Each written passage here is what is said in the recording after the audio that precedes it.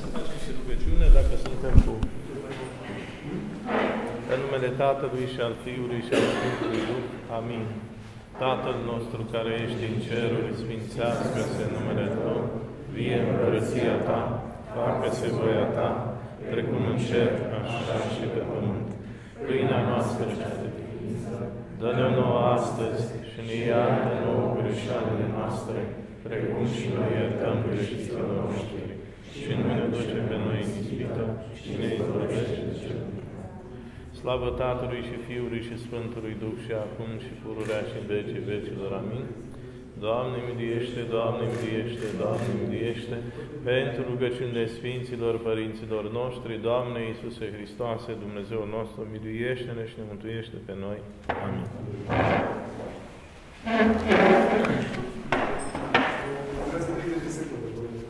Da, da, da. O facem uh, o scurtă introducere. O să...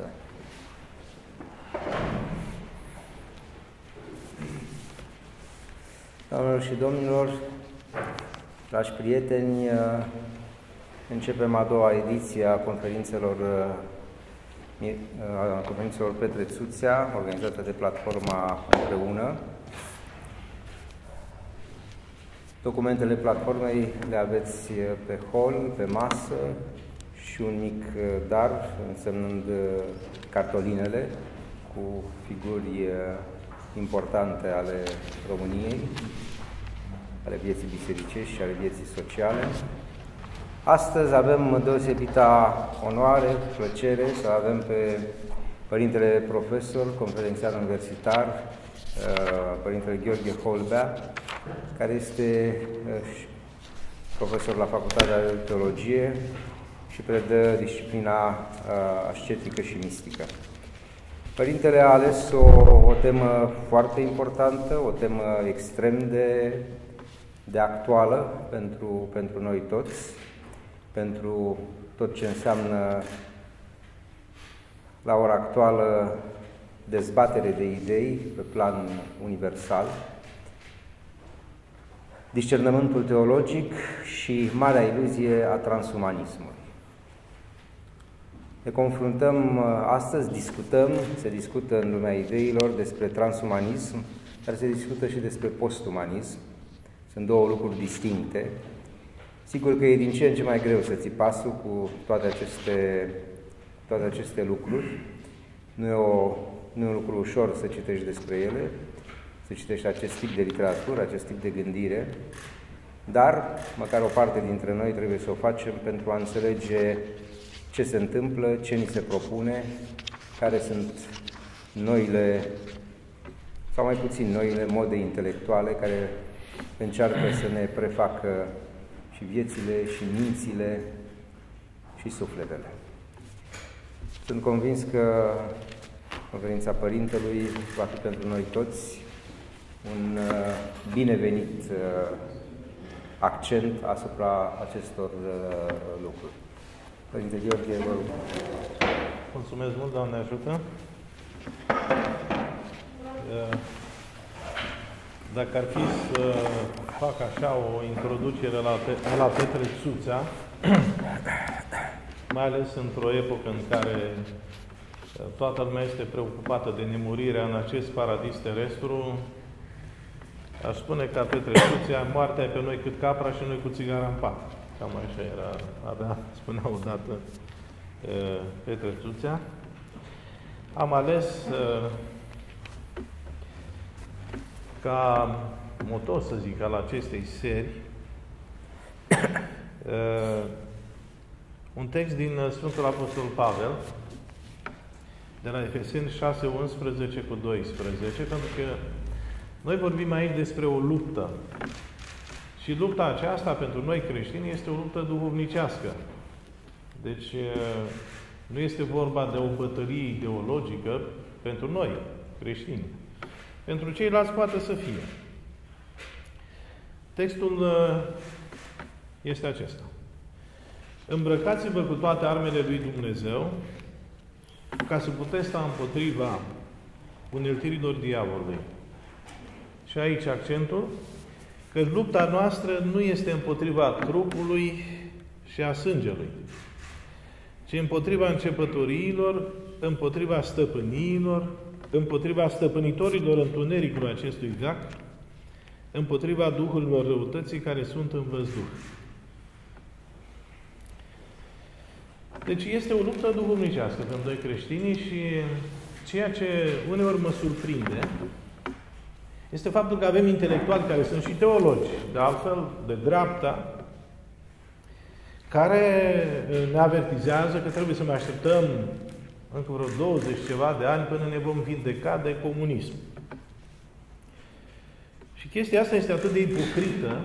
De ce este ipocrită? Că ce să așteptăm să ne vindecăm de comunism? Pentru că un neomarxism, iată, ne paște. Trăim în neomarxism. Adică a trecut o ideologie și acum noi ne îndreptăm spre Europa într-un neomarxism din aceasta înfloritor și suntem foarte optimiști. Nu. După cum vedem, nu putem fi chiar așa de optimiști. În ceea ce privește discernământul duhovnicesc, uh, discernământul este, așa cum ne arată părinții firocalici, părinții pustiei, vedere duhovnicească. Uh, cel care are limpezime duhovnicească și mai ales astăzi este nevoie de o asemenea limpezime duhovnicească. Uh, în orice situație, părinții filocalici și părinții bisericii ne învață că discernământul ține de fapt de Harul lui Dumnezeu. Deci discernământul este legat de puterea Sfântului Duh. Iar Sfântul Ioan Casian spune, dreapta judecată este o virtute însemnată care nu poate fi cuprinsă cu mintea omenească dacă nu suntem ajutați de Harul Dumnezeu. Ea face parte dintre darurile Sfântului Duh, după cum învață Apostolul Pavel, care spune, deci enumeră mai multe daruri,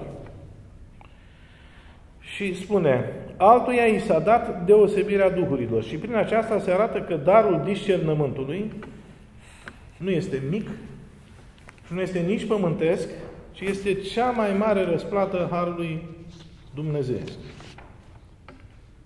De altfel, Ava Antonie, în Filocalia, volumul 1, în traducerea aceasta românească, i-a adunat pe toți ucenicii săi și le-a dat temă. Să spună care este cea mai mare virtute.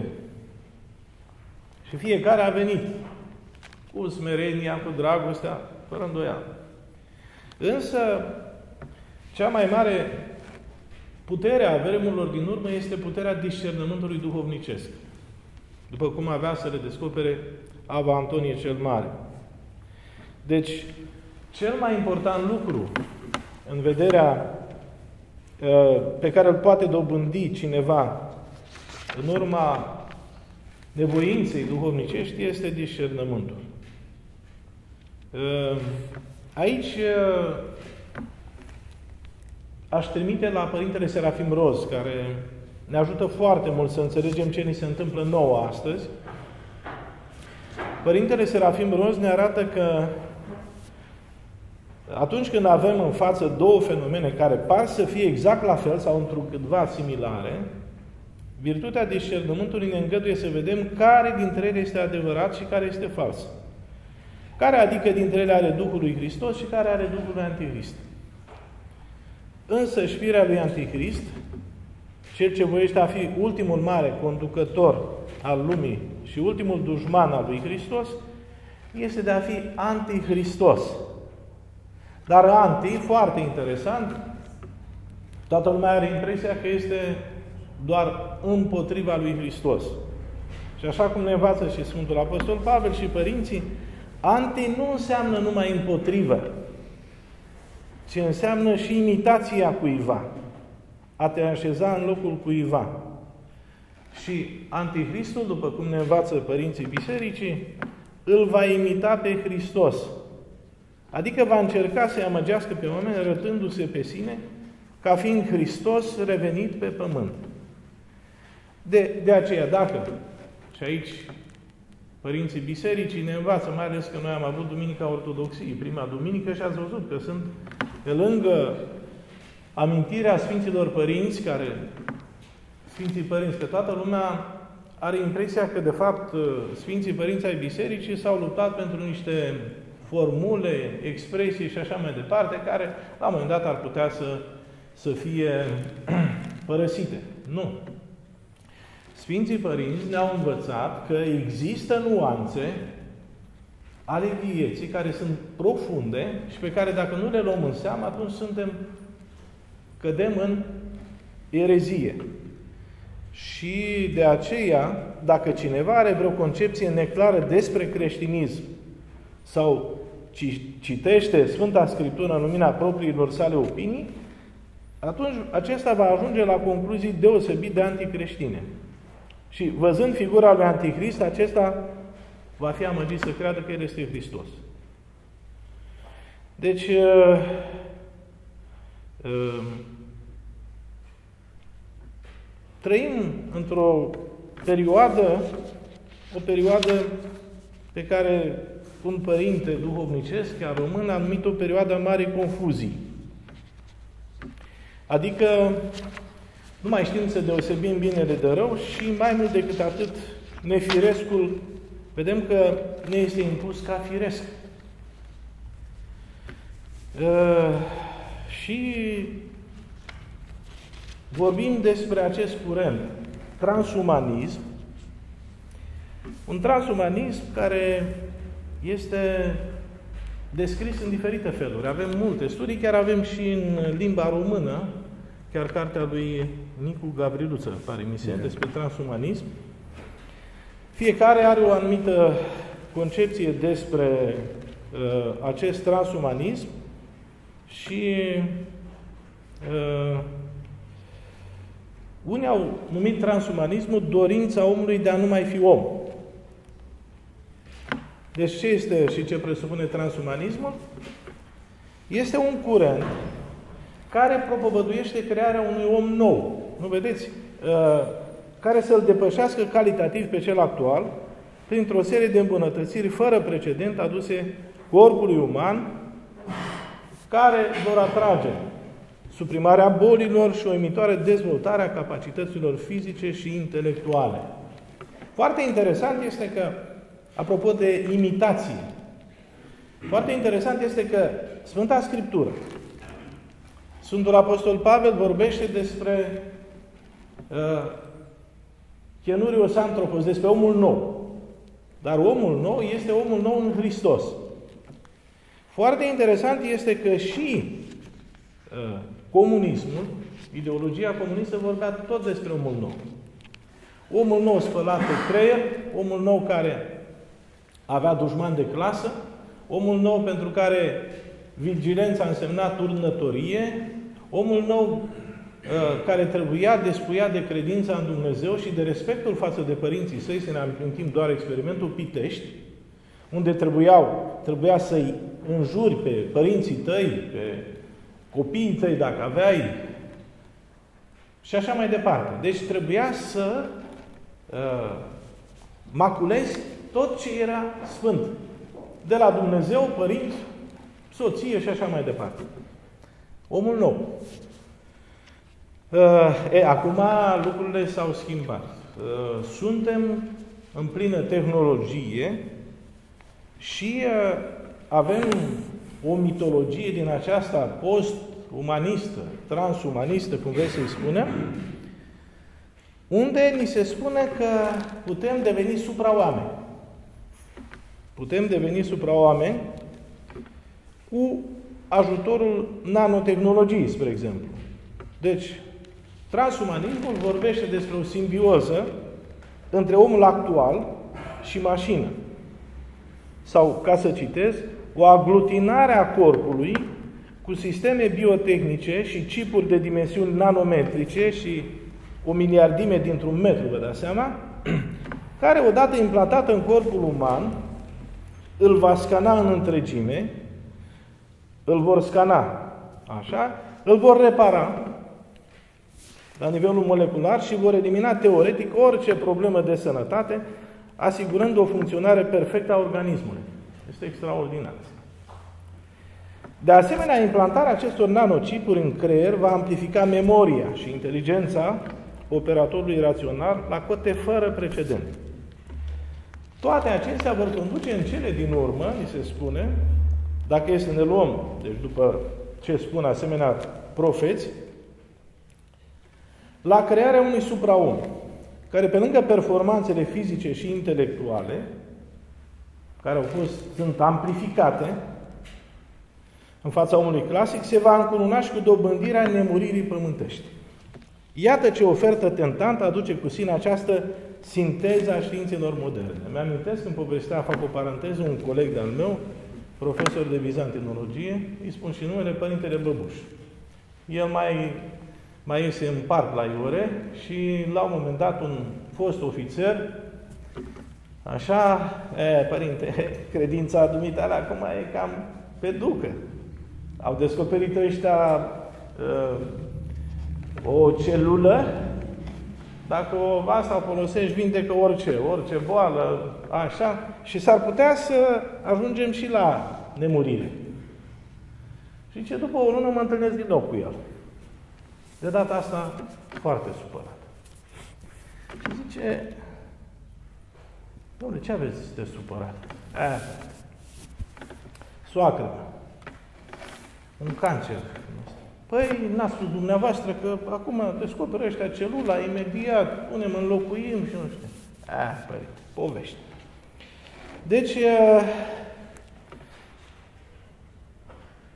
nu intenționez să iau în discuție tema efectelor secundare ale unei tehnologii care este implantată în corpul uman, dar dacă tehnologia digitală exterioară corpului, deși a fost concepută cu scopul de a sluji nevoilor cotidiene ale omului, a ajuns să aibă nenumărate efecte nocive și să dezvolte deja cunoscutele maladii digitale, ce se va întâmpla oare în momentul în care nanotehnologiile vor deveni parte a trupului? Și cei care ați fost la, uh, când am făcut noi la casa, uh, la Centrul Cultural de la Precupeții, noi am făcut iarăși o seară discernământul duhuncesc și această și uh, problema transumanismului și uh, am prezentat o secvență din dialogul pe care Cătălin Ștefănescu l-a avut cu un profesor din Germania, de la Universitatea din Ulm, este doctor,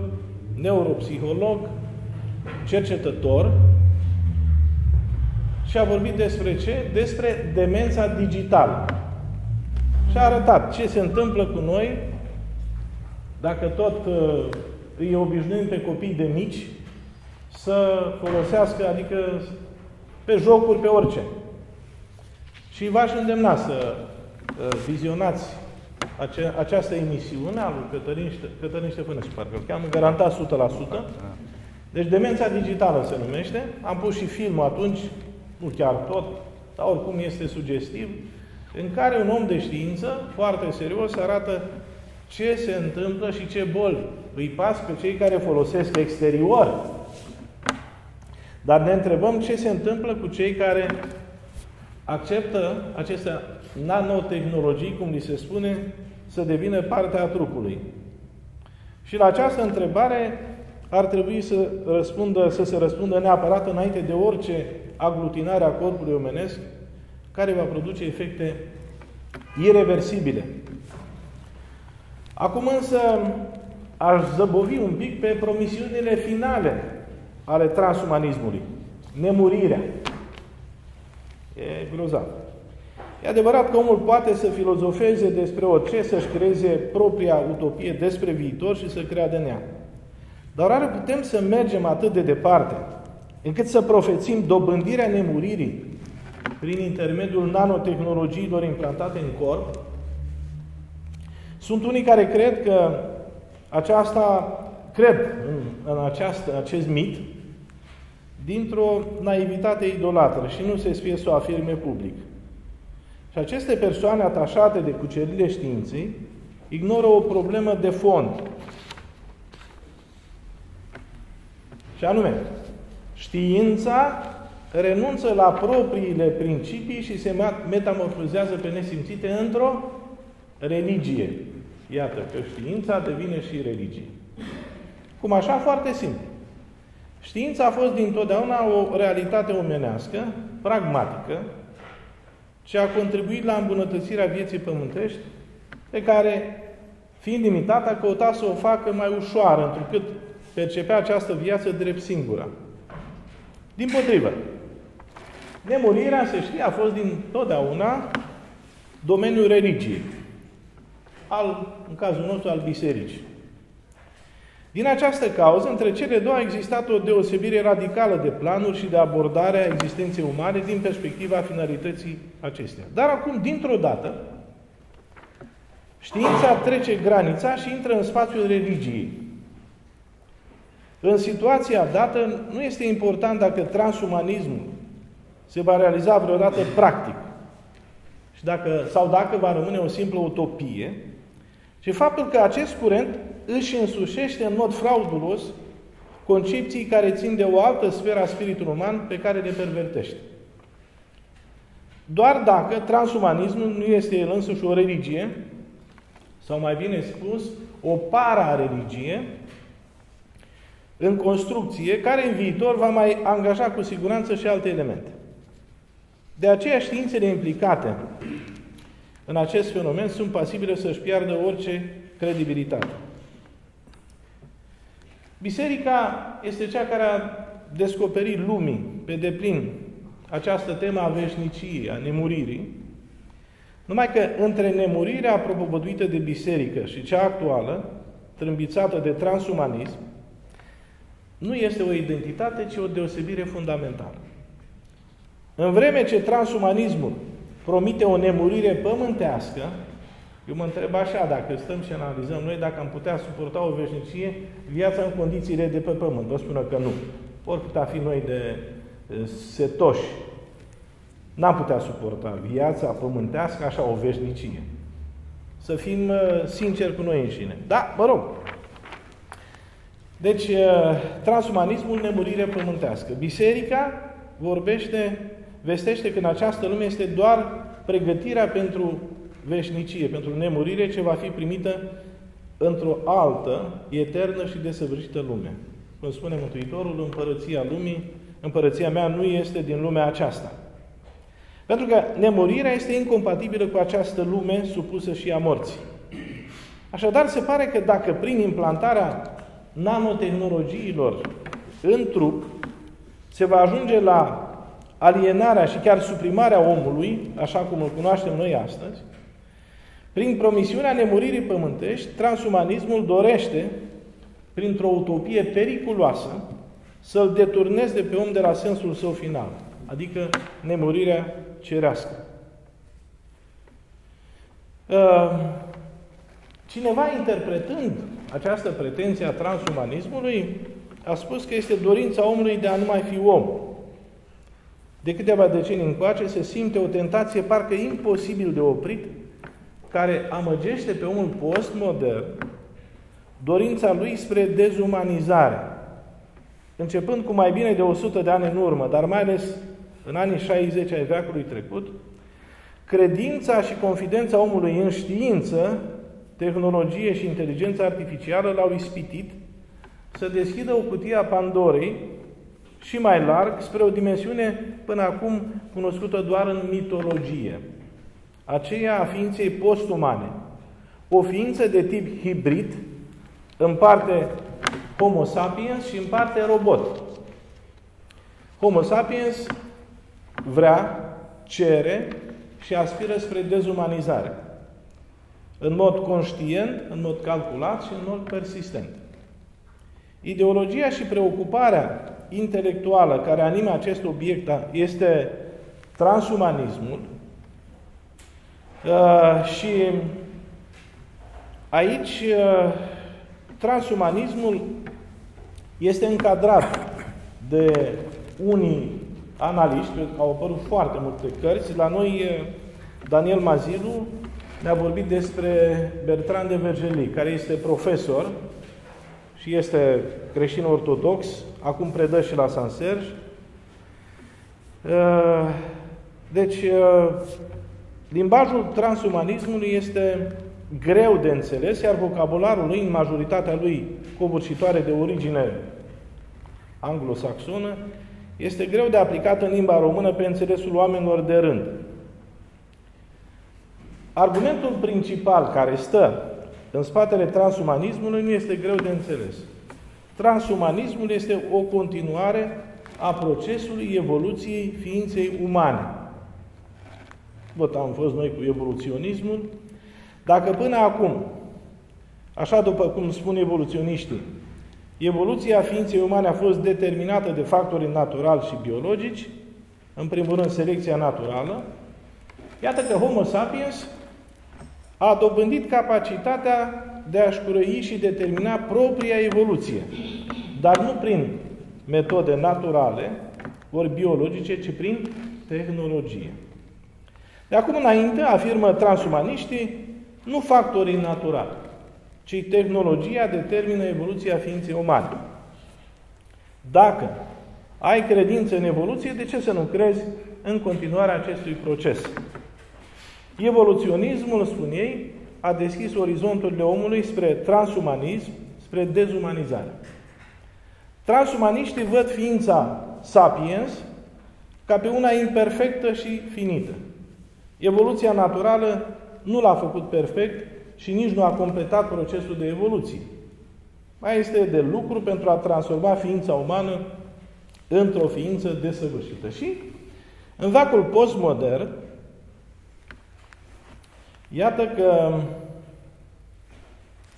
omul se poate perfecționa pe sine însuși cu ajutorul tehnologiei.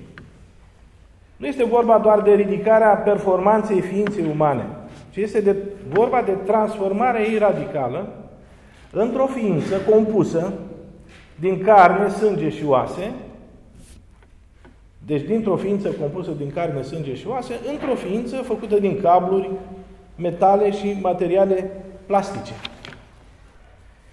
Deci, Povestea este interesantă. Eram uh, în Grecia când uh, am pășit în nou mileniu. Știți ce personalitate a apărut atunci în nou mileniu? Care a devenit de fapt un fel de emblemă a secolului 21.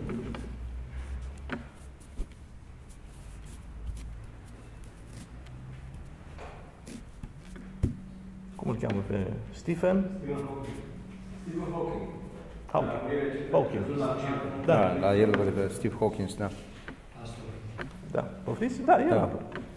Deci, uh, el, uh, într-un fel, împlinește pe undeva uh, această tentație transumanistă, pentru că și impulsul gândului se poate transforma nu, într-un semnal sonor. Deci, lucru pe care transumanismul și-l, și-l propune. Deci, uh, transumanismul înseamnă și manipulare genetică, deci uh, noile tehnologii, se știe, permit modificări genetice, înlocuiri bionice și conexiuni neurale artificiale nanometrice. Nu evoluăm într-o nouă specie, ci creăm o nouă formă de viață, cum spun transumaniștii, care îmbină știința materialelor cu biologia. Transumanismul umple speranțele și mințile oamenilor cu visuri de a deveni supra-oameni. Însă problema este că scopul real este eliminarea liberului arbitru al omului. Pentru aceia care vor rămâne, bineînțeles, transevoluția dezvăluie cele mai întunecate strategii de depopulare. Mă rog, acum eu citeam când eram, și nu mă gândeam atunci, citeam uh, o carte a lui uh, Giovanni Papini, Gog. Da. Și spuneam despre vizita acelui personaj care a mers la Stalin, a mers la Lenin, a mers la așa și a mers și la Ford. Și care zice, eu gândesc o fabrică în care să nu mai am nevoie de oameni. Doar vine un inginer, acționează roboții și așa mai departe. Deci, Ă, misiuni împlinite fără oameni. De altfel, ă, soldații cibernetici și roboții bipezi vor permite operarea de la distanță. Se știe că există deja bombardiere nedetectabile de, de către radare, tehnici de îmbunătățire a retinei și uh, nanoboți capabili de auto-înmulțire. Deci, uh, putem să ne bazăm pe această revoluție. Uh, de ce spunea cineva, apropo de războaiele cu cyber, în care avem cyborgi, cyborgul fiind un fel de robot, dar are și țesuturi naturale. Oamenii nu sunt înzestrați de la natură cu venin, cu gheare, cu blană, cu super rezistențe și super viteze. Dar dacă am putea să le, adăugăm, să le adăugăm ca în jocurile pe calculator 10 puncte la viață, ce părere aveți? Imaginați-vă cum ar putea arăta un război în care combatații n-au nevoie să mănânce, să doarmă, nu obosesc, nu au căderi atunci când un camarad uh, dispare pe câmpul de luptă și nici nu sunt incomodați de adrenalină în timpul bătăliei. Deci vorbim aici despre tehnologii și cu toții ne-am uitat, poate, cu bucurie copilărească la superputerile eroilor. Și acum există forme incipiente, tehnologii care măresc capacitățile umane. Inițial, tehnologia a putut vindeca o varietate largă de afecțiuni. Cei cu auzul precar din cauza bătrâneții pot opta pentru un implant. Soldații care își pierd părți ale corpului în război își pot anexa mâini și picioare bionice controlate de propriile gânduri. Și e fascinant să vezi cum o mână bionică se mișcă așa cum vrea mintea noastră. Cei care își pierd vederea pot opta pentru implantarea unei retine bionice. Iar foști atleți pot alerga din nou după amputări în întregime ale picioarelor. Și, recunoaștem, beneficiile sunt impresionante. Însă, revoluția bionică deși a reușit să producă vindecări uluitoare, nu se oprește la simpla înlocuire a părților corpului uman. Prin înlocuirea părților corpului uman cu tehnologie bionică, nu se preia doar funcția acelui organ, ci se și mărește capacitatea de a realiza funcția transumanistă manifesto uh, respectivă, deci ale organului. De exemplu, prin implantul de retină bionică, nu doar ne recăpătăm văzul, ci vom da zoom, vom vedea de la distanțe foarte mari și vom vedea pe timp de noapte. Sau un implant sofisticat ne dă posibilitatea să auzim conversații ce au loc în alte încăperi sau clădiri. Mâinile bionice nu doar restabilesc capacitățile noastre, ci pot dubla forța umană. Iar cu ajutorul picioarelor bionice putem atinge viteze pe care în mod normal corpul uman nici nu poate spera să le ia în calcul. Iată ce tentație. Tehnologia bionică, prin ceea ce vindecă, oferă posibilitatea de a depăși limitele biologiei și anatomiei omului. Unii pot fi îngrijorați de posibilitatea deținerii de superputeri. Și până la urmă, Superman se poate răzgândi pe cine apără. Deci, uh, uh, vorbim despre aceste superputeri pe care le dă și aici ați văzut, dacă vrem să ne clonăm copiii, putem să comandăm, se poate interveni în genomul uman deci, uh, putem face orice. Uh, care este, de fapt, ce se ascunde în spatele acestei tehnologii? Uh, vă dați seama, cum, cum zice, designers baby, adică îți, îți proiectezi copilul pe care vrei să-l ai. Copiii nenăscuți, ale căror calități fizice și intelectuale sunt desemnate prin pe timpul perioadei de gestație, prin intermediul tehnologiei, de către oameni de știință bine plătiți. Vom avea așadar un scenariu de copii perfecți. Deci, ați crea și ați proiecta proprii copii în laborator cu ajutorul tehnologiei și a determina calitatea viitorilor lor copii, inclusiv nivelul de inteligență, dimensiunile și caracteristicile. Deci, tehnologia aceasta reproductivă. Ei, și atunci, omul natural, omul firesc, ce rost mai are? Copiii îi putem aranja în laboratoare și atunci ce rost mai are? Vă dați seama că această ideologie de gen este legată de transumanism. Ce rost mai are relația bărbat-femeie și așa mai departe, având în vedere că procrearea nu mai este o problemă, ci este o problemă tehnologică până la urmă. Și atunci, de ce n-am fi noi de acord cu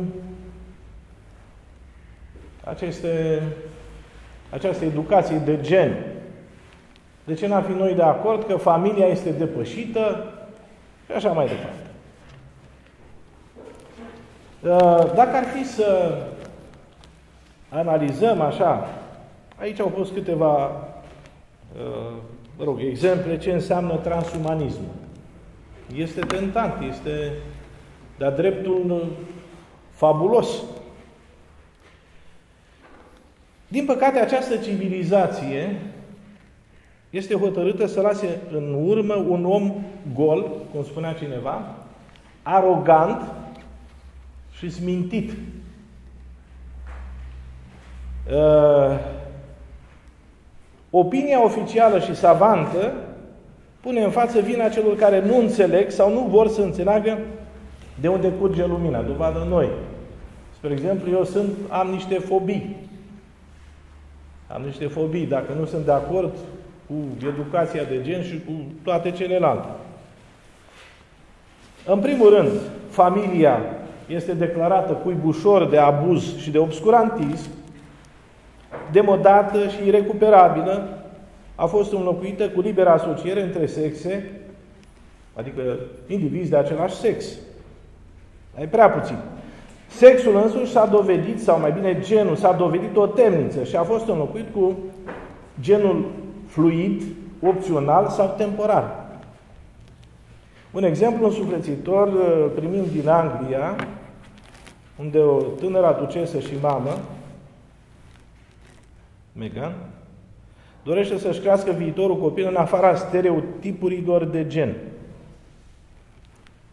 Fie băiețel cu fustiță, fie fetiță în așteptarea mustății și așa mai departe.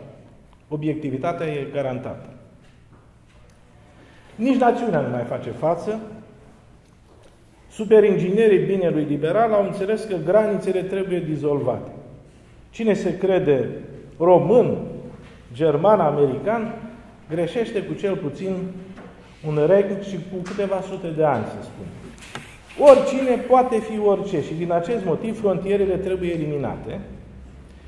Odată sosit, migrantul va avea dreptul firesc să refuze integrarea și să treacă la reeducarea nației nenorocite care îi plătește asistența socială. Păcat că deocamdată liberalismul global nu-și duce gândul până la capăt, adică suntem, uh, ne lovim și de un cinism. Adică oamenii ăștia săraci care vin în Europa trebuie să vină pe embarcațiuni, după aceea noi organizăm uh, uh, uh, salvarea lor în Grecia, peste tot, unde intră, unii se mai înneacă și așa mai departe, este și un scenariu și un uh, uh, este un cinism. Adică, domnule, dacă tot aveți de gând, de ce cu pluta pe mare când se poate cu avionul zilnic și în masă? Nu? Că tot vorbim de integrare. Uh, în acest punct, liberalii sunt datori să-și învingă timiditatea și să-și lărgească sufletul.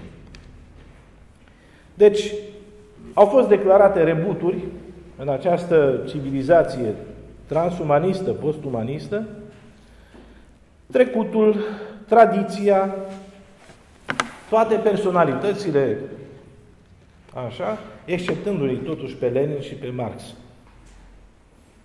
Universitățile și presa au descoperit primele acest secret vinovat și Drept urmare, nu încetează să producă reparatorul militanți cu diplomă și marxiști avansați, cum avem și noi în România. Deja s-au lăudat unii că avem oameni pregătiți să introducă acest nou tip de educație. Deci, uh, totuși, trebuie să recunoaștem că uh, oamenii ăștia care concep această religie, între ghilimele, luptă împotriva răului. Uh, Bertrand de Vergely, care a fost invocat la întâlnirea noastră, care are mai multe lucrări publicate în Franța, uh, spune, dacă Dumnezeu s-a făcut om și omul s-a făcut Dumnezeu. De-a lungul istoriei, cel din urmă s-a manifestat în patru feluri, prin cele patru umanisme pe care lumea occidentală le-a cunoscut și le mai cunoaște. Deci Bertrand de Vergely vede patru umanisme. Primul, spune el, este umanismul eroilor și al creatorilor fără creator. Deci eroul își are sau își este propria religie și propria scriptură. Al doilea, umanismul libertății fără eliberator, un umanism al libertinului. Al treilea este umanismul salvatorului fără izbăvitor, al revoluționarului. Și al patrulea este umanismul iubirii fără Dumnezeu. Și îi zic un umanism moral. Deci, eh, omul Dumnezeu, cum se declară el cu de la sine putere, a hotărât să se considere un Dumnezeu. Și când intervine în societate, degradează totul. Binele, frumosul, adevărul. El prosperă prin puterea anonimatului care scade prin demascarea acestuia. Ce vrea transumanismul? Un om cu majuscul, cu o mare. Un om nelimitat. Un om cu mai multă viață, spune el. Un om care dobândește nemurirea. Ați văzut că un om nediferențiat, bărbat-femeie. Dispariția nașterilor naturale. Dispariția vieții intime firești prin inventarea știu eu, a unor, mă rog, mecanisme și prin conceperea copiilor în laboratoare. Salvarea omului prin grija omului Dumnezeu. A se vedea Marx, manifestul Partidului Comunist. Omul vrea drepturi, drepturi peste drepturi. Postmodernitatea este marcată de tendința legilor de a se băga în toate. Vedeți, acum dreptul copilului, dreptul, dreptul, toată lumea ne garantează drepturile. Succesul pentru toți. Suprimarea diferențelor în educație și celebritate pentru fiecare. Paradisul pământesc, plin de respect și demnitate pentru toată lumea. O religie umanitară, utilă societății, dar lipsită de moral. Umanism pentru fiecare, laicitate și toleranță. Fără discriminare, fără conservatorism, însă supravegherea totală, fără ștergerea informațiilor, pentru că ei vor să ne apere de noi înșine. Deci, uh, ceea ce este uh, destul de grav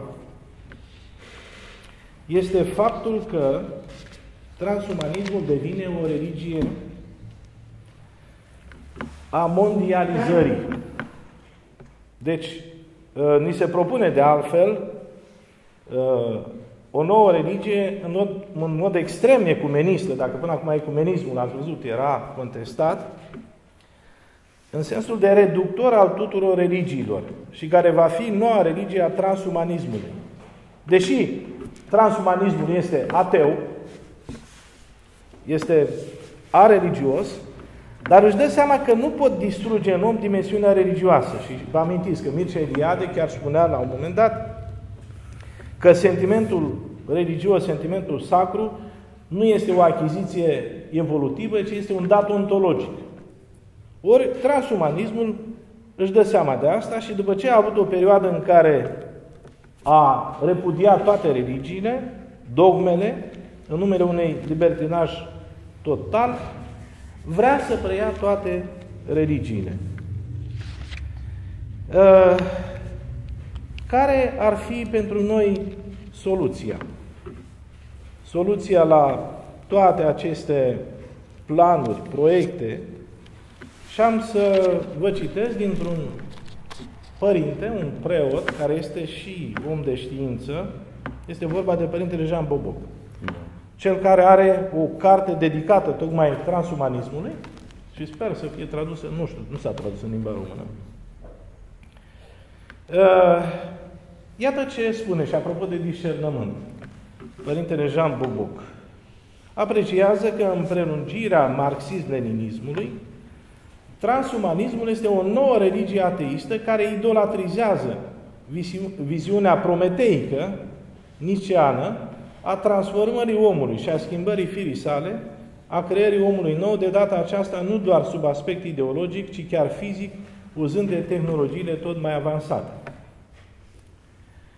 Uh, din paleta de concepte abordate și criticate de către Părintele Jean Boboc, uh, enumerăm doar două. Eugenia, teorie socială care pledează pentru îmbunătățirea speciei umane prin diferite mijloace de manipulare genetică, despre care am amintit, și ectogeneza, știința apărută de curând și care își propune creșterea artificială a unui organism în afara corpului, putând genera la un moment dat înlocuirea nașterii clasice cu o altă metodă artificială, realizând astfel separarea sexualității de procreare. Uh, cum ar spune François Rabelais, pe care îl citează Jean Boboc, știință fără conștiință. Și spune uh, François Rabelais, știința fără conștiință nu este decât ruinarea sufletului. Ce remedii vede Părintele Jean Boboc? Uh, Cine învață Părintele Jean Boboc? Deci, în acest context, el ne cere un răspuns mai ferm și mai responsabil din partea societății de pretutinde. Mai mult, distanțarea față de adoptarea digitalizării totale, stoparea de construcție lumii în care trăim, reașezarea persoanei umane concrete în centrul atenției societății noastre, revalorizarea religiozității autentice, lupta împotriva ideii unei implacabile lumi noi, recultivarea respectului față de mediul înconjurător, o cercetare genetică protejată de reguli și de legi stricte, repunerea în prim plan a celui mai important drept al omului, dreptul de a naște, refuzul marginalizării atunci când încerci să spui adevărul despre lumea în care trăiești. Și noi trăim acest lucru. Regăsirea rădăcinilor sănătoase, atât biologice cât și duhovnicești, ale umanității, pentru a putea cultiva autentic, spre îndumnezeire, o omenire teandrică și liberă și nu una manipulată genetic. Uh, deci, uh, Lupta mea personală, spune un cercetător, este lupta pentru viață. Și deci până la ultima mea suflare mă voi bate pentru protejarea omului, a embrionului uman. Într-un registru duhovnicesc, și aici l-am luat pe Nicolae Steinhardt, pentru că se împlinesc duminică 30 de ani de la trecerea la Domnul. Părintele Nicolae Steinhardt. Deci în 1989. 30 martie, avem la facultate pe 16 aprilie, cei care doriți, avem o seară Nicolae Steinhardt și Revelația Fericirii, cu Monica Pilat, George Ardeleanu, Părintele Mirea și, mă rog, uh, s-a mai anunțat cineva. Uh, ce trebuie să facem? Să recunoaștem ceea ce spune Sfântul Apostol Pavel că lupta noastră nu este de fapt împotriva cărnii și împotriva sângelui, ci este împotriva duhurilor acestui veac. Uh, Părintele Steinhardt ne spune uh, Diavolul ne stăpânește prin neîncredere și bănuială și această puternicie a sa creștinii o pot contesta. De ea se poate slobozi. Se pot slobozi de neîncredere a Edoma ca și de cealaltă mare intervenție a demonului, necredința. Pentru creștin, ceilalți semenii lui toți, nu sunt neapărat și negreșit alcătuitorii unui iad pământesc. Ei nu văd în jurul lor numai și numai răutate și diavol. Dar asta nu înseamnă că se cuvine ca ei să fie proști și nătângi. Îl citesc pe Steinhardt. Purtând totdeauna pe buze un surâs mieros și artificial, clătinând binevoitor și nerozește din cap, blagoslovind prigoane și nedreptăți și fapte strigătoare la cer, propovăduind că toate sunt bune și frumoase. Știm prea bine că nu toate sunt bune și frumoase, că există în lume boala, durerea, suferința, sărăcia, foametea, tortura, asuprirea, tirania, minciuna, prostia biruitoare, prigoana, sadismul și câte altele. Le știm lămurit și nu ne-ar ședea frumos în fața lor să ne acoperim ochii și să îndrugăm vorbe dulci și deșarte. Dar pentru noi creștini, stăpâna lumii este în cele din urmă Hristos, nu Belzebul. De aceea mințile și inimile nu ni sunt petrite, iar ochii și ochii cugetători ai nimeni nu ni orbiți. Deci, Părintele Nicolae Steinhardt vede același lucru, că trebuie să înțelegem ce ni se întâmplă. Adică, ceea ce ni se întâmplă nouă românilor prin această, nu știu cum să o numesc, politică de depopulare a României, această dispersie extremă a comunității de români în Italia, Spania, Danemarca, în toate țările până în Scandinavia, dispersie spirituală și fizică și în același timp uh, avem datoria, avem această datorie de a afirma și mesajul acesta identitar. Ideologiile de gen sau ideologiile pro-LGBT, mă rog, la noi în țară ați văzut că avem oameni pregătiți să introducă aceasta, dar noi trebuie să fim, așa cum ne spune și nu trebuie să afișăm un uh, zâmbet mieros, vai, extraordinar, ci trebuie să fim uh, profetici. Așa cum au fost și mărturisitorii din tențele comuniste. Unul dintre marii învățați ai neamului Simon Mehedinț a scris un cuvânt plin de înțelesuri care se constituie totodată într-o a treia mare lecție duhovnicească. Un popor, ca și orice om în parte, atât prețuiește cât a înțeles din Evanghelie și cât poate să urmeze învățăturii lui Isus. Deci, trebuie să ne salvăm și trebuie să salvăm ceea ce este de salvat. Uh, națiunea atât de blamată de către acest postumanism, transumanism, este o comunitate vie, iar degradarea acestei comunități, distrugerea sistemelor sale de apărare și reproducere, înseamnă nu doar o pierdere teoretică, ci una foarte concretă, care se resimte la nivelul vieții de familie și individuale. Erodarea națiunilor înseamnă suferință pentru generații întregi. Nu este doar o chestiune de dezbatere intelectuală sau culturală. A dezbate astăzi despre cât de mult mit și cât de multă realitate este în națiune este ca și cum am discutat, cum erau, știți, era o vorbă, că era Constantinopolul, era asediat și ei discutau despre sexul îngerilor. Deci, îndemnul este uh, să înțelegem că această lume sau stăpânitorul acestei lumi, cum este numit Lucifer, ne propune un contract. Dăm sufletul tău și al celuilalt din casa ta și îți voi da în schimb senzații tari care să te facă să uiți de adevărata ta menire și care să-ți amuțească glasul conștiinței și zvâgnetul inimii tale. Deci, uh, singura salvare pentru a mai putea avea parte de inocența copilăriei, de bucuria familiei, de unitatea și solidaritatea unui neam este viața în Hristos, viața duhovnicească. Oricând ni s-ar părea de, uh, știu eu, un anacronic și așa. Da, revenirea la credință este salvarea noastră. Și aici uh, aș încheia această, mă rog, trecere prin ceea ce ne învață, cred eu că acest cuvânt al Părintelui Rafael Noica din Cultura Duhului este un cuvânt profetic, care, pe care vă rog să-mi dați voie să-l citesc, așa într-o măsură, în loc de postfață. Uh,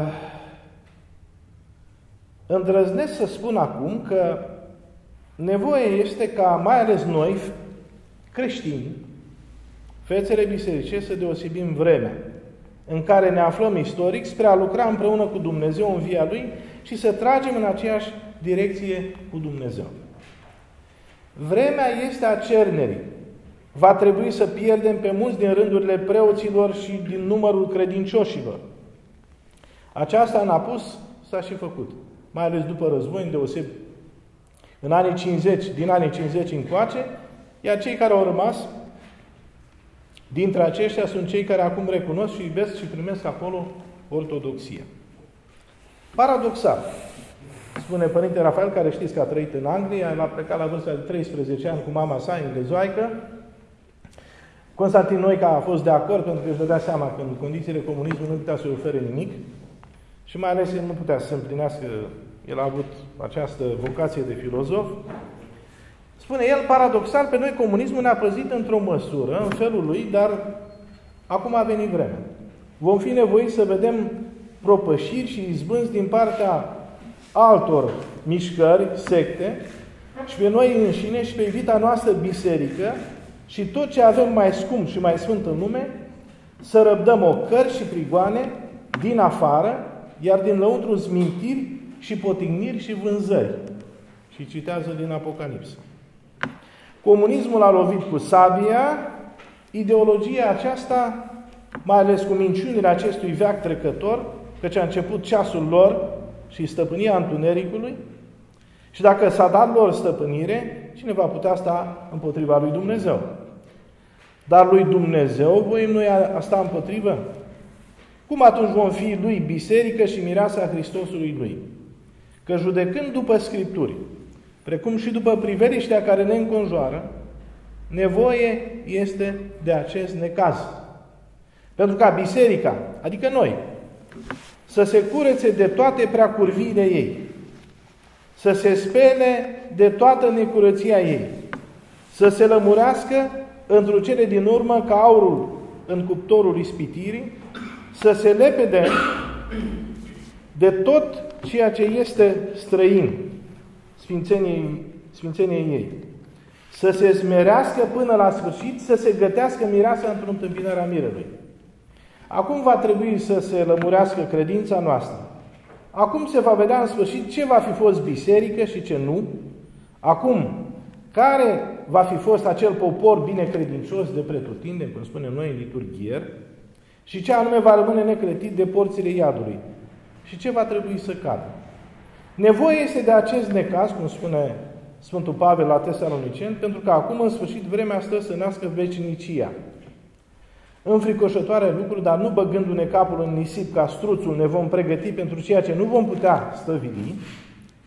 Înfricoșătoare vreme, sau înfrico, da, înfricoșătoare vreme, dar dacă de la Dumnezeu îngăduită, mântuitoare. Acum mai aproape este nouă mântuirea decât am crezut și decât au crezut strămoșii noștri. Că dacă în zilele Sfântului Ioan Botezătorul doar se apropiase împărăția cerurilor, acum este lângă uși. Și mlădițile zmochinilor vestesc vara. Acum a și început acea vreme când cel ce nedreptățește mai nedreptățească și cel ce spurcă mai spurce, cum spune la Apocalipsă. Și oare nu s-a umplut întreg globul pământesc de promiscuitate și de libertinaj neînfrânat? Că cele de negândit în urmă cu vreo 30 de ani acum sunt monedă uh, curentă. Dar deși mai puțin bădit, este și vremea când și cel drept mai facă dreptate. Și cel sfânt mai sfințească-se. Că cel ce este să vie va veni. Și nu va mai zăvubi și plata lui în mâna lui pentru fiecare. Și încheie profetic. Spune așa. Vremea este ca noi creștinii să ne întoarcem într-o ale noastre. Și biserica să se întoarcă și ea într-o ale sale. Adică să ne reînvățăm mai multă încredere în Dumnezeu decât în cele văzute și mai la îndemână și să ne sprijinim mai mult pe mijloacele lui Dumnezeu decât pe mijloacele acestei lumi.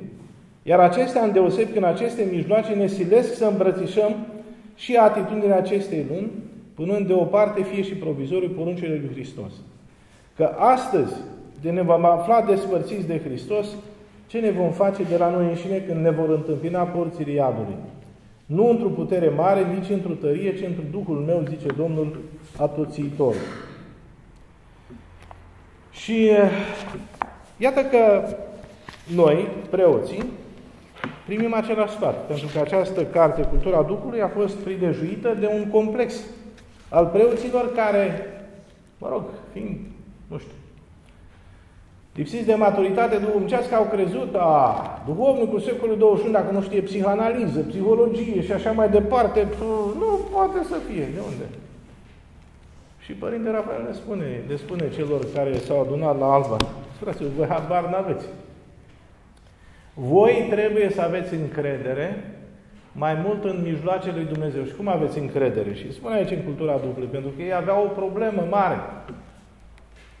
Se gândeau că sunt depășiți, erau complexați, având harul preoției. Având harul preoției, erau complexați. Doamne, cum să facem față? Păi cum? Cum a făcut față părintele, părintele Arsenie Papaciocului, Daniel Turcea. Daniel Turcea s-a dus era plin de fizică, de geometrie, de toate celelalte. S-a dus la Părinte Arsenie Papaciuc la Cernica, l-a prevenit de altfel prietenul. Vedeți, Părinte, că ăsta are o minte extraordinară. Dovadă poeziile lui, din, mai ales din entropia, sunt geometrie și toate și toate. Și Părintele, ce credeți că a făcut? L-a primit și l-a ascultat. Pentru că el avea deja Duhului Hristos. Și atunci Părintele uh, Rafael ne spune, păi fraților, voi vrei un duhovnic bun, spune el, tu ești un duhovnic bun. Tu care ai fost hirotonit mai ieri sau mai răs al alteri. De ce? Pentru că în momentul în care tu spui problema, aceasta înseamnă că tu crezi mai mult în calitățile tale omenești decât în lucrarea lui Dumnezeu prin tine. Și ce un duhovnic bun este în bocancii tăi, Părinte. De ce? Pentru că marea minune pe care Dumnezeu o săvârșește în această taină a părințimii și a filiației duhovnicești, pentru că vorbim despre discernământ duhovnicesc numai dacă ai duhovnic. Dacă nu ai duhovnic, ești după capul tău. Pentru că trebuie să faci ascultare ca să ai discernământ. Discernământ este un dar duhovnicesc și atunci marea minune este mântuirea păcătoșilor prin păcătoși. Aceasta este marea minune. Și atunci le spune, și ne spune și nouă astăzi, ă, le spune preoților, să reînvețe o mai mare încredere în uh, lucrarea lui Dumnezeu prin ei decât în propria lor înțelepciune. Asta nu înseamnă că preotul trebuie să fie incult. Dar în același timp, el trebuie să știe că tot ceea ce el dobândește trebuie să fie o cultură.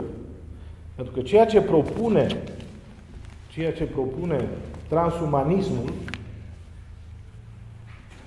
transumanismul propune, așa cum spunea un gânditor român, care s-a dus la Las Vegas și a fost impresionat de acel oraș în pustiul Nevada, unde totul este artificial. Și acolo găsești și piramide, e un fel de mol al nostru extins. Acolo se pot încheia căsătorii ă, așa și se pot desface în 5 minute, nu? Tuturor, toate. Și acel gânditor a spus un lucru. A spus, zice, rar mi-a fost dat să văd o formă mai civilizată a inculturii. Pentru că, de fapt, cultura înseamnă viață, cultura înseamnă raportare la Dumnezeu Cel care ți-a dat viață, cultura nu înseamnă artificial. Și mediul pe care îl creează și transumanismul, așa este, și acel gânditor a spus, domnule, zice, când m-am dus în Las Vegas, sta și m-am gândit, domnule, ăsta e spațiul cel mai propice pentru a te sinucide. Ori transumanismul după cum vedeți, este o sinucidere a omului care vrea să devină mai puternic prin ce? Prin toate aceste protezări. Dar de fapt, lupta care se duce nu este pentru proteze, ci lupta care se duce este, de fapt, pentru mintea omului. Ce va mai fi omul protezat? Ce va rămâne din omul adevărat? Deci, întoarcerea la Hristos este demersul creștinilor, al bisericii. Uh, nu te teme, turmă mică. Așa, domnul Mihai Gheorghiu va vorbi despre, va vorbi despre referendum. Uh, aceștia suntem. Dar nu ne temem pentru că, așa cum spunem noi, uite, azi este buna vestire. Și buna vestire are mesajul profetului Isaia, Fecioara va lua în pântece și va naște fiu și vor chema numele noi Emanuel, care se trupuiește, cu noi este Dumnezeu. Cântăm noi în fiecare la uh, toate aceste uh, uh, pavecernițe, cu canonul cel mare, cum a fost în prima săptămână, cu noi este Dumnezeu, înțelegeți neamuri și vă plecați. Să ne ajute Dumnezeu să dobândim această credință, să o redobândim. Doamne!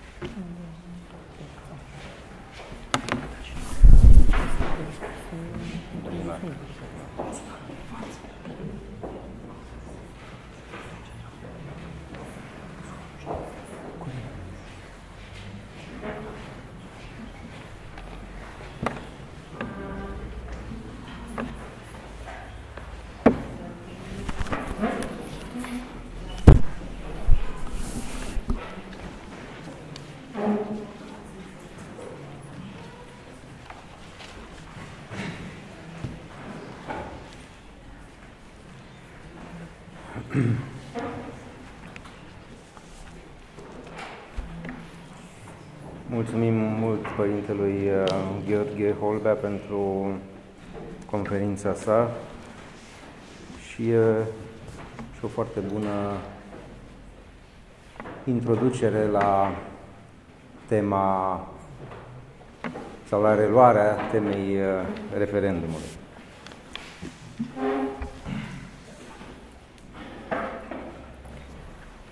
Când, am, uh, când m-am gândit uh, la această temă, la propunerea ei, m-am gândit așa că referendumul nostru stă ca, un, ca o coală de hârtie mototolită, ca un șomoioc de hârtie aruncat undeva, despre care nimeni nu mai vorbește, aproape ca și cum nici n-ar fi existat. Uh, unii se simt uh, învinși în urma referendumului și, într-adevăr, a fost o, o emoție puternică și o durere a unora dintre, dintre noi. Alții, sigur, oricum l-au considerat inutil și preferă să nu vorbească despre el ca și cum n-ar fi existat. Din fericire există președintele Iohannis, care ne amintește tuturor că referendumul a existat, că e foarte important și că, cel puțin pe domnia sa, îl bântuie foarte tare. Ultima declarație a președintelui Iohannis despre referendum, despre toxicitatea referendumului, despre cum a dat poporul român cu flit uh, celor care au promovat uh, referendumul și așa mai departe, nu face decât să reitereze același nivel al neînțelegerii și cinismului mai vechea declarație a domniei sale privitoare la fanatismul religios și așa mai departe. E foarte interesant și un alt aspect, faptul că puținătatea vocilor, interesant, relevant, dar nu, nu surprinzător, puținătatea vocilor care au apărat uh, referendumul, care au, i-au apărat pe cei care au crezut, l-au promovat și s-au luptat pentru el și pe cei ca dumneavoastră care au votat sau ca alții ca, ca noi. Au fost uh, trei, uh, până acum trei voci cu accente extrem de lămuritoare, de importante. Domnul Vasile Bănescu, purtător de cuvânt al Patriarhiei uh, Bisericii Ortodoxe Române, în al preasfinția sa Ignatie de al Cușilor și de ultim moment am citit o declarație a lui uh, al, a profesorului uh, Papa Hagi de la Cluj. Um, eu, ca să fiu sincer, sau noi, cei care am coordonat acest lucru, uh, platforma împreună actualmente, am considerat că e bine de data asta să-i lăsăm pe ceilalți să apere ceea ce noi, alături de mulți alții ca noi, am, uh, am făcut. În toată această campanie de trei ani pentru referendum am avut rare ori ocazia să vorbim uh, omenește, prietenește despre ceea ce ar trebui să însemne referendumul, despre ceea ce a însemnat pentru cei care au pornit la această întreprindere, pentru că permanent a trebuit să explicăm într-un anumit, într-o anumită terminologie, cu un anumit discurs, care inevitabil trebuia să ajungă la toată lumea, trebuia să fie median, trebuia să împace toate cerințele, toate exigențele și să mențină sprijinul tuturor bisericilor și cultelor creștine, deci și pe cea a catolicilor, a greco-catolicilor, a protestanților, să atragă și sprijinul cum până la urmă au tras a cultului mozaic și a comunității musulmane din România, ceea ce a născut la unii dintre, dintre noi ideea că aici ar fi vorba de un activism civic, de o, mă rog, acțiune care ar rămâne, s-ar naște din acest plan al civismului, ar rămâne aici și cam asta ar fi toată uh, dimensiunea, dimensiunea lui. Ceea ce nu este deloc adevărat. Și e foarte, povestea referendumului e foarte complicată, foarte lungă și greu de, de, de sintetizat, uh, foarte frumoasă pe alocuri, prin întâlnirea cu oameni, prin tot ceea ce s-a creat în această uh, legătură de la suflet la suflet, de la inimă la inimă, de la mână la mână, pentru că au, au fost uh, clipe grele, clipe frumoase, mă rog, a fost un efort uh, care a creat o comunitate nevăzută până la vot, dar oameni, milioane de oameni care au înțeles lucrurile pe deasupra televiziunilor, pe deasupra mesajelor mai mult sau mai puțin uh, manipulatoare.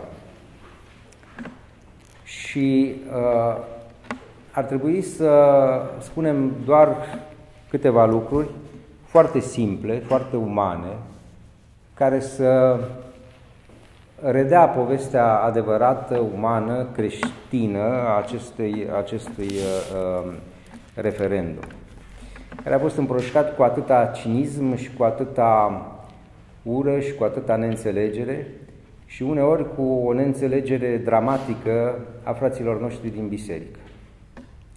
Și aici au existat mai multe tipuri de argumente, inclusiv un argument al Evlaviei.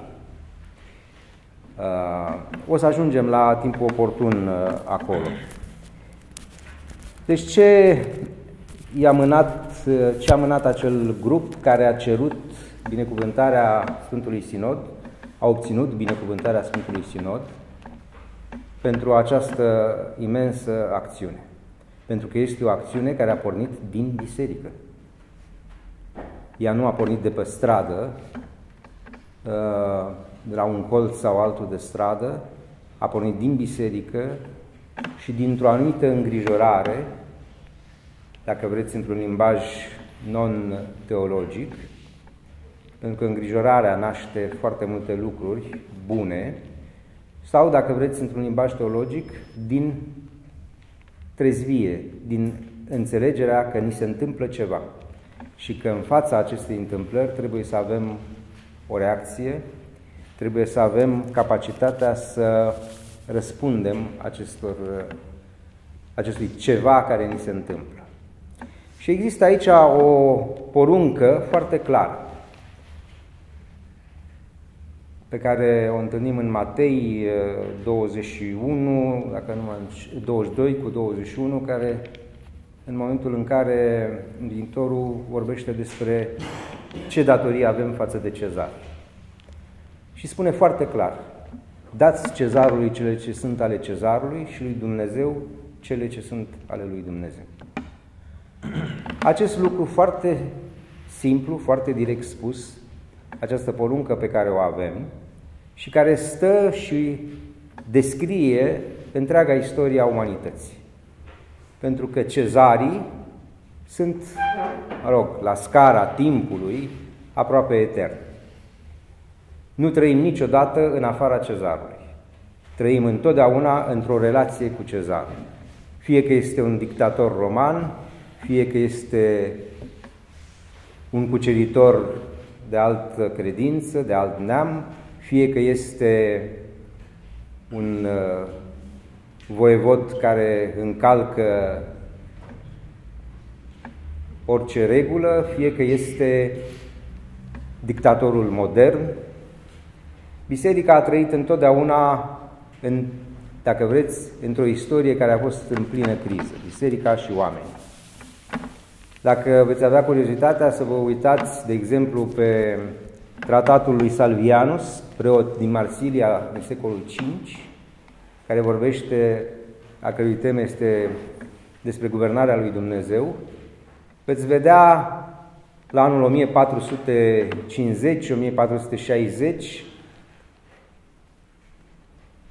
aceeași îngrijorare, aceeași teribilă îngrijorare pentru ceea ce se întâmplă creștinilor și nu numai creștinilor, aceeași istorie care este în criză, aceeași istorie care naște violență și naște capacitatea cezarului de a împila, de a sugruma, de a servi. De aici, pornind, de la acest punct nodal, uh, am uh, încercat să aflăm răspunsul la această întrebare. Ce-i de făcut în momentul în care întreaga noastră viață socială începe să fie răvășite de diverse curente, care nu sunt numai curente de idei, care nu sunt numai prezente în cărți, au fost de mult prezente în cărți. Ele sunt astăzi acțiune juridică, acțiune legislativă, acțiune socială, acțiune politică, încercarea de încorsetare și de schimbarea unui mod de viață și a unui mod de a înțelege lumea. Și atunci această simplă, uh, acest uh, lucru foarte simplu, care până la urmă, mă rog, a devenit complicat de jocul politic, de jocul social, a fost un, un răspuns. Cum putem apăra această instituție a familiei și această legătură între bărbat și femeie? Să o apărăm să o protejăm la modul constituțional. Și de aici, sigur, o întreagă, un întreg algoritm juridic, o întreagă necesitate de aflarea argumentelor, de, mă rog, crearea acestei, acestui tip de, de apărare. Dar ea are un fundament teologic și un fundament spiritual, această căutare și această acțiune. Și de acest lucru și-au dat seama foarte bine adversarii referendumului și adversarii noștri. Uh, deci, uh, n-a fost vorba niciodată și nicio clipă de o chestiune pur juridică, de o chestiune pur civică, de un lucru care ar privi o, mă rog, chichiță juridică, constituțională sau avocățească. a fost, în primul rând, încercarea de a face ca solidaritatea creștină și comunitatea creștină să aibă un răspuns în viața socială. Pentru că una din marile provocări pe care rog, le avem tot timpul este aceasta de a rămâne prezenți în societate, de a găsi răspunsuri la tot ceea ce se întâmplă cu noi, lângă noi, uneori în afara noastră, alteori implicându-ne foarte puternic și de a nu părăsi societatea, de a nu evacua locul unde noi trebuie să fim și unde noi trebuie să ne apărăm pe noi înșine, credința noastră, biserica noastră, copiii noștri și modul de a înțelege viața și de a perpetua această viață și modul de a înțelege valorile, valorile noastre. Avem acest uh, drept și nu mai drept, avem această obligație și avem și această poruncă. Mintea și sufletul copiilor noștri nu sunt lucruri de dat cezarului. Dăm dări, dăm alte lucruri, dăm o sumedenie de lucruri, dar, toate, dar ceea ce e dincolo de acestea nu pot fi lăsate la voia cezarului. Cezarul modern este statul, statul care constrânge, statul care te obligă și noi avem această experiență de peste 40 de ani, aproape 50 de ani a comunismului, în care am trăit sugrumați de un stat care trebuia să ne creeze, să ne redeseneze uh, mereu, conform utopiei marxiste, comuniste, bolșevice a omului, a omului nou. Când provocările sunt de această magnitudine, răspunsurile sunt întotdeauna personale, dar ele trebuie să fie și interpersonale. Trebuie să ne privească pe toți ca fiind un popor, poporul bisericii, poporul credincios. Acest tip de răspuns și acest tip de solidaritate, de comuniune, cade în sarcina noastră ca, ca creștini.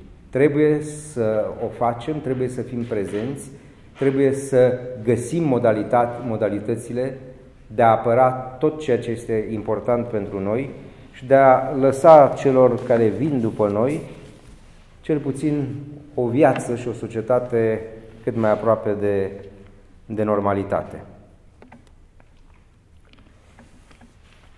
Dacă sunt lucruri pe care nu le putem lăsa la voia cezarului, atunci trebuie să le luăm din calea cezarului.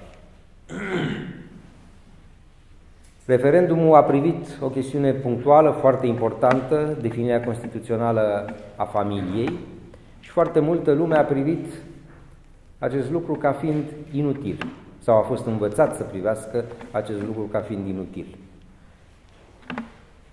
Se dovedește că nu e deloc inutil.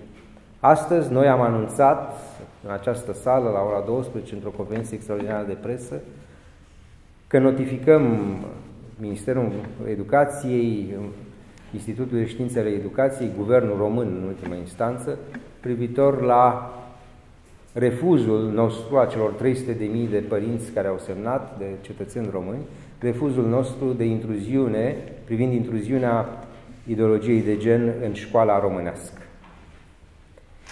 Pentru că noi am știut foarte bine că aici este cam principiul dominoului. Acolo unde s-a făcut breșa, acolo se va intra și poarta va fi larg deschisă.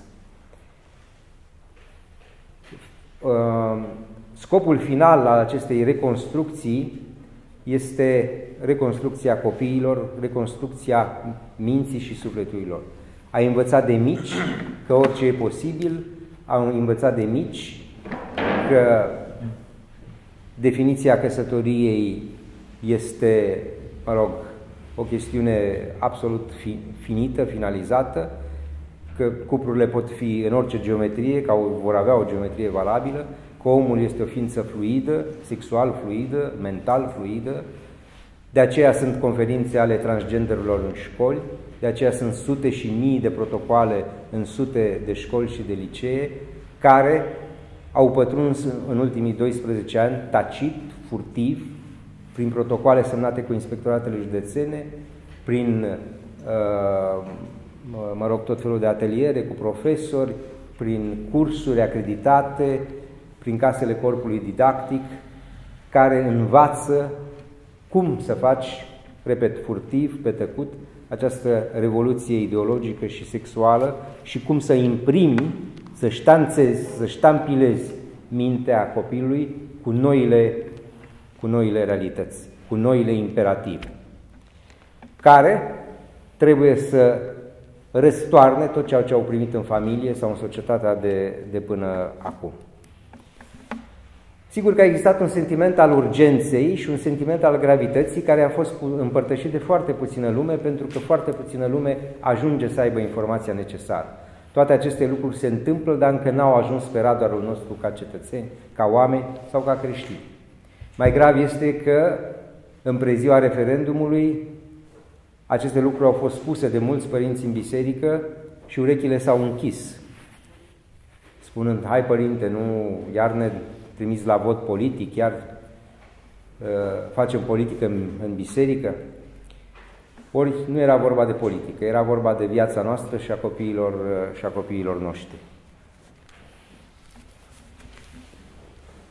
Deci pe acest fundament teologic și evanghelic trebuie să ne opunem tuturor cezarului care urmează să ne constrângă sau să ne ia în captivitate sufletele sau sufletele copiilor noștri. Am primit binecuvântarea Sfântului Sinod și nu mai intrăm în amănunte. Am purces la campania de sânge de semnături, care s-a făcut în toată țara, în toate parohiile ale Bisericii Ortodoxe, ale celorlalte biserici și culte și a fost uh, cu atât, uh, atât de mare succes finalizată. Apoi ani lungi de așteptare, de discuții interminabile cu clasa politică, până la votul final din Senat și apoi organizarea uh, referendumului. Nu vreau acum să intrăm în niciun fel în dezbateri care au fost uh, în timpul campaniilor, în argumente, contraargumente, nu acesta este rostul uh, cuvântului meu de, de astăzi. Am numit asta lecția referendumului pentru că, în primul rând, trebuie să decelăm ceea ce a însemnat pentru noi acest lucru și pentru societate, e foarte important, inclusiv pentru cei care au boicotat referendumul, dar foarte important pentru noi să înțelegem și noi înșine să nu aruncăm la coș această uh, extraordinar de importantă uh, experiență prin care societatea românească a trecut. Ce trebuie să înțelegem este că povestea referendumului nu a fost nicicum reflectată de mass media. Cine a luat cunoștință de, de campania de, de toți cei trei ani ai referendumului, din mass media, se înșală și se auto-înșală. Structura oricărui eveniment public, fără a intra într-o discuție de tip academic, nu acesta este rostul acestei sări, are structura unui iceberg. Ceea ce se vede e întotdeauna mult mai puțin decât ceea ce există, decât ceea ce pregătește și duce mai departe un eveniment. Deci, în orice caz, nu vom avea o imagine a acestei, acestei povești dacă am văzut o emisiune într-un an, o postare odată la șase luni și am mai avut discuții despre argumente, contraargumente și despre cât de, mă rog, uh, uh, greu este să convingi lumea de unul sau de altul dintre toate aceste lucruri, de cât de util sau inutil, de cum creștinul nu ar trebui sau n-ar trebui să împingă la referendum societatea. Uh, nu, acestea nu sunt uh, imagini care să ne ducă la adevărul, uh, la adevărul lucrurilor. Adevărul lucrurilor, foarte sintetic spus, îl putem încadra în această poruncă evanghelică. Noi trebuie să nu dăm nimic din ce al sufletului cezarului. Cum să o facem? Suntem oameni care trăim în societate, trăim în cetate sau trăim în mediul rural, în cetăți mai mici, dar suntem prinși în această lume. Și această lume uneori devine agresivă, uneori prea agresivă, alteori, sigur, ne lasă în pace. Trebuie să uh, ne apărăm și să rezistăm la tot ceea ce ar putea să ne pună în cumpănă și să ne arunce într-o captivitate a sufletului și a minții. Sigur că finalmente, finalmente salvarea este întoarcerea la Hristos, viața în biserică, credința că există o soluție și aceea nu ne aparține. Dar asta nu ne scutește pe noi de îngrijorare, de trezie și de capacitatea de a ne lupta și de a mărturisi ceea ce trebuie să mărturisim. Adevărul. Adevărul și adevărul vieții noastre și adevărul moștenirii noastre religioase și culturale. Cum putem denumi foarte, foarte concis această acțiune a creștinilor în societatea românească? Unică la uh, nivelul întregii sau la dimensiunea întregii istorii a României moderne.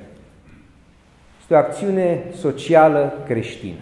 Este, dacă vreți, nu există un exemplu mai uh, eclatant, mai strălucitor, mai exact al unei acțiuni sociale creștine.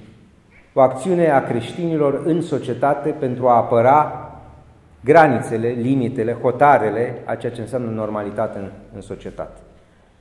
Și ea s-a petrecut, asta a fost una dintre privilegiile și caracteristicile ei extrem pozitive, la nivelul întregii societăți civile creștine. Cine este această societate civilă creștină? Ea e compusă din creștinii tuturor bisericilor și cultelor creștine din, din, uh, din România. Ei sunt, noi suntem o forță. Noi suntem societate civilă. Pentru că existăm în această societate, o determinăm prin tot ceea ce facem zi de zi, prin toate actele de milostenie, prin toate uh, acțiunile de filantropie, prin tot ceea ce facem în jurul cu bisericile noastre, în jurul acestor biserici, cu oameni, cu, cu copii, cu bătrâni. Este un imens țesut uh, social care este determinat de acțiunea și de credința noastră. Faptul că despre aceste lucruri nu se vorbește niciodată, asta nu înseamnă că ele nu există. Ele sunt o realitate profundă a acestei țări și de aceea suntem puternici. Și de aceea suntem și urâți. Deci, în primul rând, am dovedit prin acest referendum că această societate civilă creștină există, că ea nu este la remorca politicului, nu este la remorca guvernamentalului, nu este la remorca mass media. Are o viață a ei proprie, foarte puternică, legată de biserică, în conexiune cu toate aceste, cu, cu setul de valori, de credințe și care poate să-și propună în certe momente mai mult decât atât. Poate să-și propună provocări, examene către întreaga societate românească. Ce am mai dovedit? Că această societate civilă creștină a reușit să construiască o campanie și un discurs. Ceea ce ni se reproșează pe, în, cu totul și cu totul pe nedrept este că nu există o voce. Ați văzut cât de vocali sunt ONG-uri, anumite tipuri de ONG-uri, un anumit tip de societate civilă, cum mass media este la, mă rog, a servit acestui tip de voci și cum ceilalți, noi în acest caz, nu avem voce. Pentru că niciodată nu ți se acordă voce. Pentru că din start, și aici este, vom reveni la problema mass media, din start există o discriminare. Din start, orice acțiune socială cu temei, cu temei uh, religios este descalificată și descalificantă în ochii celor care, mă rog, dețin, ca să spun așa, discursul public. Ceea ce a speriat, ceea ce a neliniștit partea cealaltă a fost această capacitate, uh, niciodată cu atâta, mă rog, uh, forță ieșită la iveală, de a construi această campanie, de a construi demersul juridic, demersul organizatoric, demersul dialogic, dacă vreți, între diferitele biserici și culte și de a ajunge la final. De a construi dialogul cu clasa politică, de a semna acele protocoale, sigur, ele au fost până la urmă, într-un fel, vorbă în vânt, dar au simțit nevoia să le semneze, au considerat că sunt destul de importante. Și atunci toate aceste lucruri au ieșit la iveală și au arătat o parte a acestei societăți care poate să facă aceste lucruri, care poate construi în afara partidelor politice, în afara trusturilor media, în afara a foarte multe lucruri controlate de alții sau injectate cu bani de, de alții.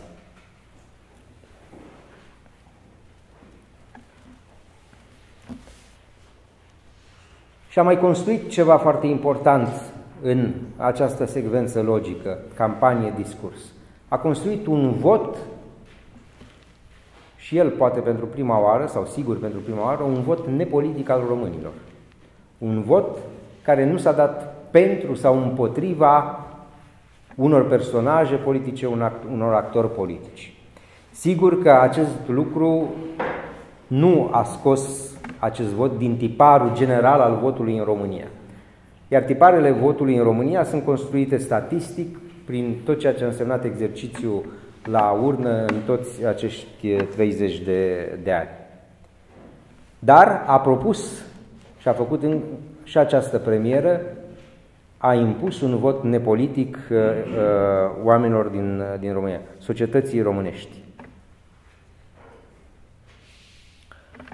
A reunit, asta este deja, uh, mă rog, asta deja am spus, a reunit pentru prima oară în acest focus, în această, mă rog, focalizare a solidarității, toate cultele creștine plus alte două culte necreștine prezente și importante în viața socială a, a României.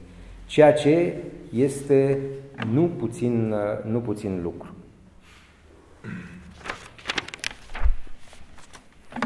Acum sunt și a evidențiat, să zicem, dacă asta au fost aspectele pozitive, intrinseci acestui, uh, acestui efort de construcție, pentru că referendumul a construit o realitate în România, a construit o evidență și ne-a scos pe noi uh, în fața acestei societăți. Ne-a dat chip și glas ca, mă rog, mulțime, ca comunitate. Mai mult decât era până, până, la, până la acel uh, moment. Am mai făcut ceva și, dacă vreți, un punct din ceea ce ar trebui să ținem minte și un punct uh, al acestei lecții a referendumului. A evidențiat totodată fractura profundă care există în societate, între societate sau, mă rog, popor și clasa politică. Pe de o parte, și apoi între societatea, între societate sau între o parte a societății, dacă vreți, pentru că trebuie să fim preciși, și mass media care oferă imagine uh, publică diverselor sectoare ale societății, ale uh, grupurilor din, din societate. În ce a constat fractura? Cei trei ani de amânare continuă și de joc politic continuă și încercarea de preluare politică a referendumului, care nu a avut până la urmă niciun rol benefic,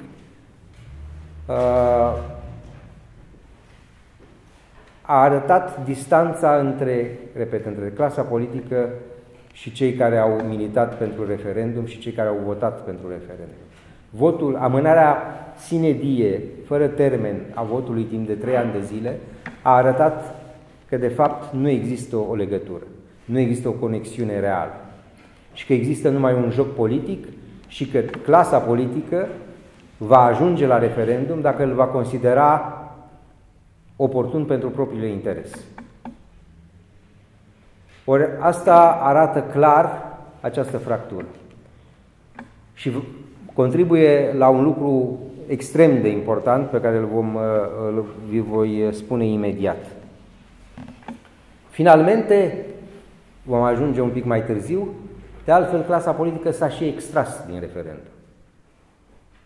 În ultima săptămână, toți cei care au spus că sprijină referendumul s-au retras, i-au întors spatele și l-au introdus într-o zonă în care el a, a eșuat datorită lipsei de, de quorum. Deci trei ani de zile partidele politice, și mă refer în special la cele din arcul guvernamental, dar și la un partid al, al opoziției, au jucat această temă în fel și chip, încercând să fie să amâne definitiv dacă se poate, fie dacă nu se poate, să găsească o conjunctură proprie în care să-și asume, mă rog, meritul votului, meritul uh, eventualului, uh, eventualei treceri a, a uh, referendumului. Apoi, fractura dintre media și societate sau cel puțin fractura între mass media și acea parte a societății care finalmente a votat. Mass media a respins aproape în proporție de 90-95% referendumul. I-a respins șansa de a se exprima. I-a respins, respins șansa de a face o argumentație, mă rog, convingătoare. Tot ceea ce a însemnat prezența promotorilor uh, referendumului, a fost practic cenzurat, controlat, limitat. Practic, la uh, televiziunile naționale am avut cam o prezență pe an, cei din comitetul care au coordonat uh, campania la nivel național. Asta nu înseamnă democrație, nu înseamnă capacitate de a supune discuției uh, populare un astfel de subiect. Asta înseamnă cenzură, discriminare, limitare, limitare accesului la uh, uh, mass media. Și vom vedea că acest lucru ne conduce la o altă fractură și la o altă criză profundă pe care acest referendum a scos-o la iveală.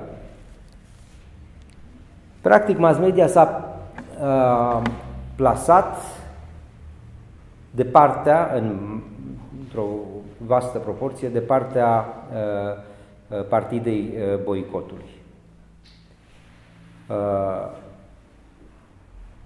ceilalți au avut acces enorm la mass media, au avut susținerea și din interior și, mă rog, susținerea pe canalele publice a acestei campanii a lor de boicotare a, a referendumului.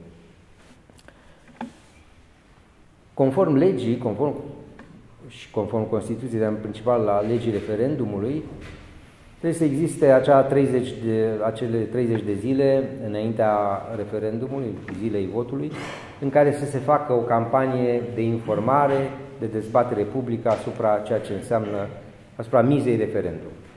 Această campanie a fost transformată din prima ei zi de existență, să zicem, legală, într-o campanie de dezinformare într-o campanie de manipulare și într-o campanie de intimidare. Uh, proporția uh, prezenței, uh, proporția aruncării argumentelor și așa mai departe este foarte clară, matematică, statistic demonstrabil. E, în acest moment, lucrurile devin foarte grave. În acest moment, repet, lucrurile devin foarte grave. Pentru că, în acest moment, hârtia de turnesol a referendumului a arătat ceva foarte grav, ceva ce oarecum e în cunoștința noastră de rutină, dar care nu apare cu atât de... și nu explodează așa pe rutina noastră. Profunda criză a democrației românești. Faptul că acest sistem, în acest moment în care noi și dumneavoastră ar, trebui, ar fi trebuit să avem acces la libertatea noastră de a ne exprima, la libertatea noastră de a apăra o valoare, un text constituțional, de a propune așa ceva, ceea ce este perfect legal, perfect moral, perfect democratic, acest lucru ne-a fost interzis. În acest moment, uh, hârtia de turnesol ne arată evenimentul grav. Faptul că milioane de oameni au putut fi văduviți de informația corectă. Păi ce ar fi trebuit noi să facem?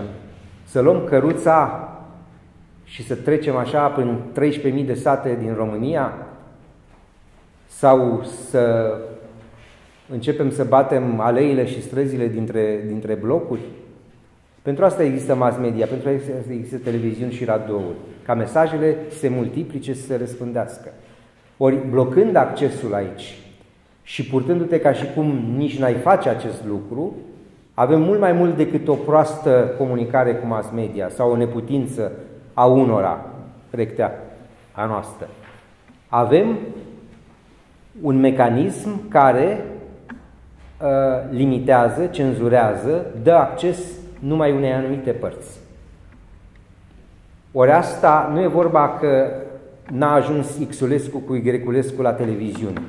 Problema este cealaltă, că milioane de oameni nu au putut auzi argumentele de la cei care au promovat referendumul, de la cei care au construit discursul referendumului, pentru a putea înțelege, pentru a putea judeca ei cu capul lor, ei să hotărească. În afara intimidării psihologice, în, ava, în afara politicii de, uh, mă rog, uh, de joc psihologic care a fost făcută prin, acest, uh, prin această campanie. Da? Vă amintiți probabil ultimul clip făcut de Papaia privitor la consecințele referendumului, la imagine, imaginile acelea sau, mă rog, fragmentele din roate din filmul Povestea slujitoare, da? Ceva de o, de o, de o, de o mă rog, uh, uh, mă feresc acum să o calific exact, uh, de un cinism și de o, de o falsitate și de o, mă rog, infamie teribilă. E, uh, acel clip n-a fost uh, nici până în ziua de astăzi luat în discuție în Consiliul Național Audiovizual, deși era clar o, o încălcat toate uh, regulile de producție și de răspândire și așa mai departe. Deci în acest moment referendumul a arătat acest, acest lucru.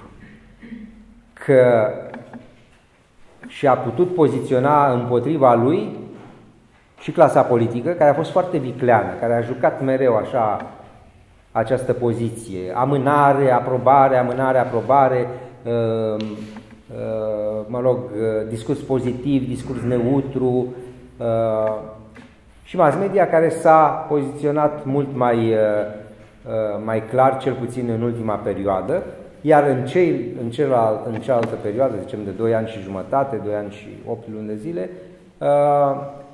Tehnica a fost foarte simplă, ignorarea totală a subiectului. Nu vorbim despre subiect, el nu există. Astfel că una din uh, lecțiile pe care le-am învățat, rămâne de văzut ce vom face cu această lecție, este că în cazul referendumului, democrația a fost suspendată. Deși, formal, a existat campanie, a existat HG cu data votului, a existat votul încă două zile și așa mai departe. Dar problema sistemelor funcționale este că ele trebuie realmente să fie funcționale și nu numai niște fantoșe, uh, uh, niște lucruri, o butaforie.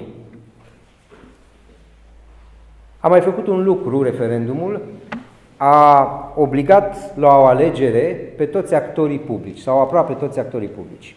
Partide, uh, personalități politice uh, sau uh, instituții media. Finalmente, deși părea un subiect care nu nu trebuia să intereseze și nu interesa pe nimeni, până la urmă toată lumea s-a poziționat într-un fel. Toată lumea a recunoscut importanța acestui, acestui subiect. Toată lumea a acționat finalmente într-un fel sau într-altul. Cu mai multă viclenie, cu mai puțină viclenie, cu mai multă tărie, cu mai puțină tărie, dar a acționat.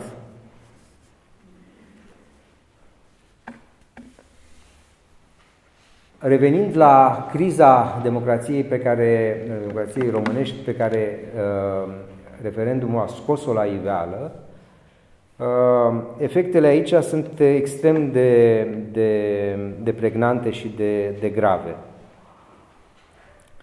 Pentru că dacă într-un sistem care se consideră și liberal și democratic, pentru milioane de oameni nu există acces la informație și problemele lor, sistemul lor de valori, nu reprezintă o prioritate publică decât în măsura în care decidem noi. Noi cine? Noi care deținem partide, noi care deținem presă, noi care deținem mai știu eu ce alte instituții, ONG-uri și așa mai departe, sau care deținem discurs public, atunci lucrurile, repet, sunt foarte grave și arată o stare și o debalansare totală a, a lucrurilor. Nu există o singură temă de dezbatere publică, nu există o, o decizie așa luată sau n-ar trebui să existe, că numai o singură temă de dezbatere publică este importantă în, în România. Să zicem justiția sau lupta anticorupție. Foarte importantă. Extrem de importantă. Și de altfel, mă rog, uh, pare că fără, fără sfârșit. Această temă a fost importantă cel puțin pentru o parte a societății uh, românești. Dar ea nu a găsit cale de acces acolo unde să poată deveni, cel puțin uh, din punct de vedere al argumentelor, să poată să ajungă la urechile fiecăruia. A constituit într-adevăr un lucru care a impietat asupra acestui demers ce? situația politică extrem de explozivă, de tensionată din societatea românească. Trebuie să recunoaștem, acesta este un dat obiectiv, campania pentru referendum, așa cum ne-am putut-o permite noi, noi însemnând nu noi câteva persoane, noi cei care am contribuit, mii și mii de oameni în fiecare județ, care fiecare cum a putut, cum a simțit, a făcut, a împărțit un pliant, a împărțit o foaie, a vorbit uh, în curtea bisericii și așa mai departe, a vorbit cu vecinii, cu familia, deci așa cum ne-am putut o permite noi, cu mijloace financiare scăz, foarte scăzute, dar pe un teritoriu minat de această dispută, pe care eu aș numi-o deja un război civil uh, în societatea românească. Lucrurile au ajuns la o inflamare extrem, extrem de, de gravă și referendumul, cei care l-au uh, au căutat de la bun început să-l pună pe o cale greșită, pe o șină sau pe un drum înfundat, i-au constituit, și aici uh, social media și mass media și, sigur, această teribilă ciondăneală între partide, i-au constituit o falsă miză politică. Unul din lucrurile cele mai importante care s-a dus către societatea românească un mesaj de dezinformare și de manipulare, a fost presupusa miză politică a referendumului. Da? Aici, cine a gândit această campanie, campania a fost făcută de profesioniști, campania pro-boicot, anti-referendum, a fost făcută de profesioniști, a costat foarte mult, a implicat toată structura rezist din social media, toate, foarte multe din, din uh, conturi pe Facebook, a avut uh, mesaje, a avut slogane, a avut, uh, uh, mă rog, acroșuri psihologice foarte bine gândite. Unul din, din lucrurile cele mai importante care s-a dus și a penetrat inclusiv, să numim așa, partea creștină a societății românești a fost această falsă politizare a referendumului. S-a spus permanent că este uh, uh, că referendumul este controlat de un partid, de PSD în, spe, în speță, și că va fi favorabil acestui partid.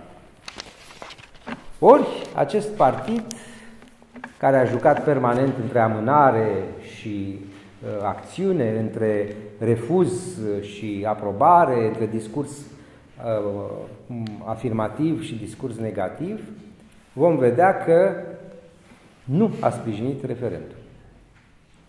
Foarte interesant că cei care au, au uh, spus acest lucru, că PSD-ul ia în captivitate referendumul, în momentul în care s-a văzut care este adevărata uh, fața acestei, acestui lucru, s-au retras de pe terenul comentariilor ca și cum acest lucru și această afirmație, mă rog, n-a fost numai afirmație, a fost o, o campanie întreagă, nici n-ar fi existat.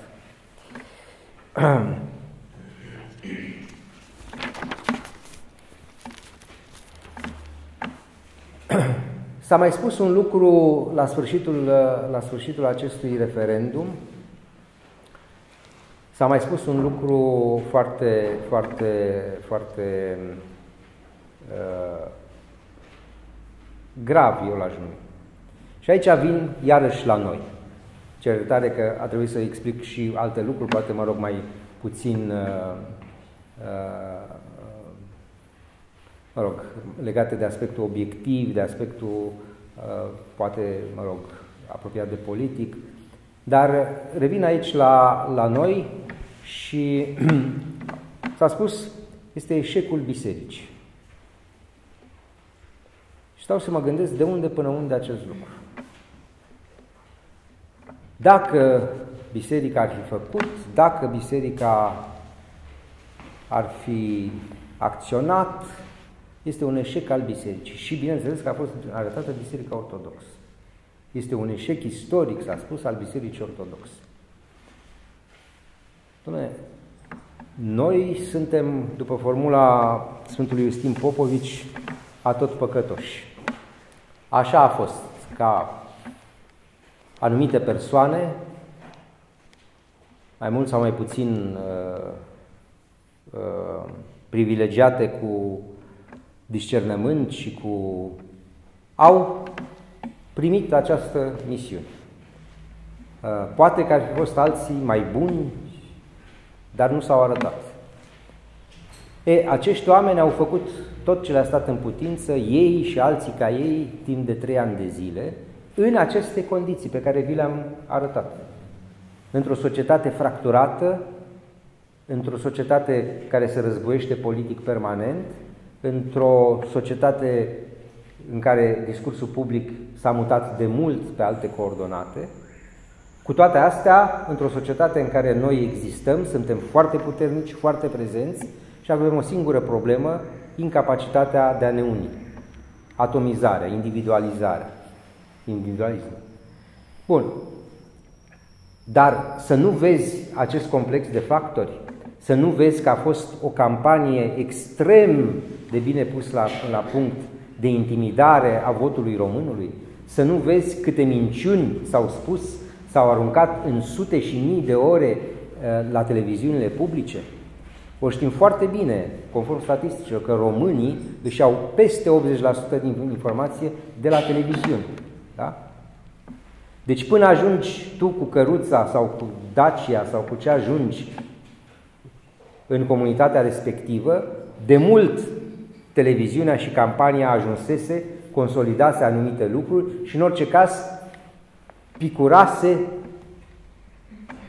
picătura cea mai toxică a confuziei și a neîncrederii. Acolo unde a picat această picătură a confuziei și a neîncrederii, lucrurile au început să iau o altă, o altă turnură.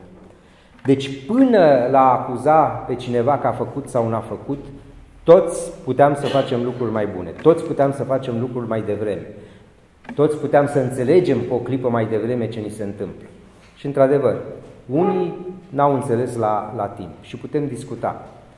Dar să nu vezi că practic ă, temeiurile acestei, acestei confruntări și acestei campanii au fost uh, schimbate, întoarse cu, cu uh, sus în, în jos, Păi, în fața acestei campanii care a însemnat sute mii de ore, sute de mii de euro care s-au uh, aruncat, cum puteai să răspunzi? Publicul a fost, până la urmă, uh, în fața acestor argumente, care vizau până la urmă crearea de confuzie și de, de ne, neîncredere. Cred că aici uh, e un lucru important de, de, de spus și de subliniat. Tot ceea ce am putut să facem, sigur, ar fi trebuit să fie și mult mai devreme și mult mai bine, poate, în alte condiții, dacă s-ar fi putut. Dar cred că a arunca uh, vina uh, referendumului și a spune este un eșec al, al, al bisericii, al mobilizării bisericii, este, este, este fals. Cred că este un eșec al democrației noastre, un eșec al capacității noastre de a asigura condiții egale pentru toți în sprijinirea valorilor și în, în ceea ce au de spus și de reprezentat în, în viața socială. Acțiunea noastră a fost permanent, întotdeauna, datorită acestor limitări, datorită blocajului media, datorită cenzurii, practic, la care a fost supus mesajul acestei campanii, întotdeauna la firul ierbii, de la om la om. Asta cere foarte mult timp. Ea a fost continuă timp de trei ani de zile și gândiți-vă că în acest timp de trei ani, fără resurse financiare, fără acces la media, totuși au fost convinși, sau cel puțin atrași, 3,5 milioane de români către aceste lucruri, ceea ce este un rezultat extraordinar. Sigur, nu îndestulător pentru a fi un succes și pentru a, a fi ajuns la uh, finalul lucrurilor. Spuneam că fractura uh, între societatea civilă creștină și clasa politică s-a manifestat și în acei trei ani de amânări, continuă amânări, de vot amânat și așa mai departe, de promisiuni neonorate, de dialog întrerupt. Noi n-am mai avut un dialog direct cu niciunul dintre partide, practic uh, timp de un an și jumătate, un an și opt luni, uh, asta însemnând practic uh, de la începutul lui 2017, sfârșitul 2016, începutul lui 2017, da? până în toamna lui 2018. Ce s-a întâmplat în ultima săptămână a uh, campaniei? În ultima săptămână a campaniei, și aici aș vrea să fiu foarte precis, foarte corect, a existat un sondaj sociologic al cursului, care este unul dintre cele mai bune institute românești de sondare a opiniei publice, care a fost făcut până pe data de 1 octombrie, cu opțiunea la vot până pe data de 1 octombrie.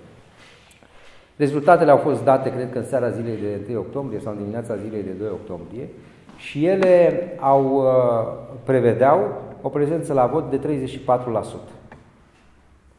Ceea ce era consuna cu rezultatele uh, Uh, sondajului curs comandat de noi în toamna lui 2017, uh, deci cu, mă rog, aproape un an în, în urmă, înainte, care ne dădeau cu campania la acel moment la un 27% din acel quorum de 30%. Deci era firesc ca timp de un an de zile, cu eforturile noastre, cu capacitatea pe care am avut-o noi, să urcăm încă 5%. Uh, erau lucruri naturale, nu era nimic. Uh. E, ce a măsurat sondajul curs din 1, din 1 octombrie 2018? A măsurat intenția la vot, a ponderat-o exact ca la alegerile uh, parlamentare, la alegerile politice, deci era un 30% ponderat, real, un 34 vreau să spun, și atunci, mă rog, cu marja de eroare, sigur, care era între 2 și 3%, uh, măsura intenția la vot de până la 1 octombrie, care însemna promisiunea unor partide care au votat uh, uh ținerea referendumului în Parlament, promisiunea de a participa, de a-și mobiliza electoratul, nu într-un sens sau într-altul, dar spune, domnule, mergeți la vot, nimic altceva. Nu votați pentru, nu votați împotrivă, mergeți la vot. Deci o chestiune neutră, democratică. E, asta era până în 1 octombrie. Începând cu data de 2, între 2 și 3 octombrie, s-a produs o schimbare totală. Partidele arcului guvernamental, în principal, s-au retras de pe această tablă a referendumului și și-au retras orice mobilizare a propriului electorat la vot. Acest lucru s-a întâmplat în urma, a existat un, un pe care nu-l voi comenta și nu voi intra în amănunte, a existat pe 2 octombrie audierea primului ministru român în Parlamentul European. După care au existat niște discuții privitoare la mai multe lucruri, inclusiv la referendum. Cert este că în acea săptămână aceste lucruri au fost sau s-a schimbat situația. Schimbându-se situația, campania, decurgând în modul în care decurga, decurgea ea, deci cu acea unică prezență a noastră în, în, în campanie la emisiunea de la Realitatea și încă una, două, trei la televiziuni mai, mă rog, la alte televiziuni, uh, lucrurile au, uh, s-au derulat spre acest uh, deznodământ al celor numai 3,5 milioane de oameni prezenți la, la vot. Deci, practic, acest vot este el însuși un vot în afara oricărui ajutor politic, ceea ce este absolut uh, uh, clar, evident și, dacă vreți, încurajator pentru, pentru noi și pentru ceea ce ne vom propune ca societate civilă creștină în această țară pe mai departe. În sfârșit, ce a mai demonstrat uh, această hârtie de turnăsol a, a referendumului? A scos la iveală pentru prima oară și a făcut un subiect de dezbatere publică, așa cum a fost această dezbatere publică, practic o falsă dezbatere publică, dar a scos la iveală agenda corectitudinii politice și agenda ideologiei de gen. Adică a scos la iveală exact ceea ce se întâmplă de 10-12 ani în această societate, prin diverse canale, în mod furtiv, ascuns, și ceea ce până la urmă a ajuns deja la copiii noștri. Da? Sigur că nu este de ajuns pentru a convinge, nu este de ajuns pentru a cunoaște toxicitatea acestui tip de, de ideologie și toxicitatea efectelor de a încastra în mintea copiilor aceste lucruri, care n-au nicio bază științifică, n-au nicio bază morală sau medicală, au numai această unică bază ideologică. Pentru foarte mulți dintre români, abia referendumul a însemnat introducerea în această problematică. De-abia la referendum au ajuns să audă de aceste cuvinte că există aceste lucruri și că s-ar putea ca mâine să-i privească. La începutul acestui an a existat uh, o declarație a ministrei uh, noi, noului ministru al învățământului, doamnei Caterina Andrănescu, privitor la faptul că în 2020 se va introduce în mod obligatoriu la aproape toate nivelurile de învățământ uh, disciplina Educație pentru Sănătate și Reproducție, ceea ce înseamnă introducerea ideologiei de gen masiv în învățământul românesc. Deci această realitate căruia, pe care românul a trebuit să, o, să audă că nu există problema, că nu există această intenție, că nimic din ceea ce spune tabăra proiectului nu există, că totul este o halucinație a unor indivizi care sperie societatea românească atât de bine așezată și nu există nimic. Copiii nu vor învăța ce spunem noi și s-a scris în foarte multe lucruri că vor învăța, Bun.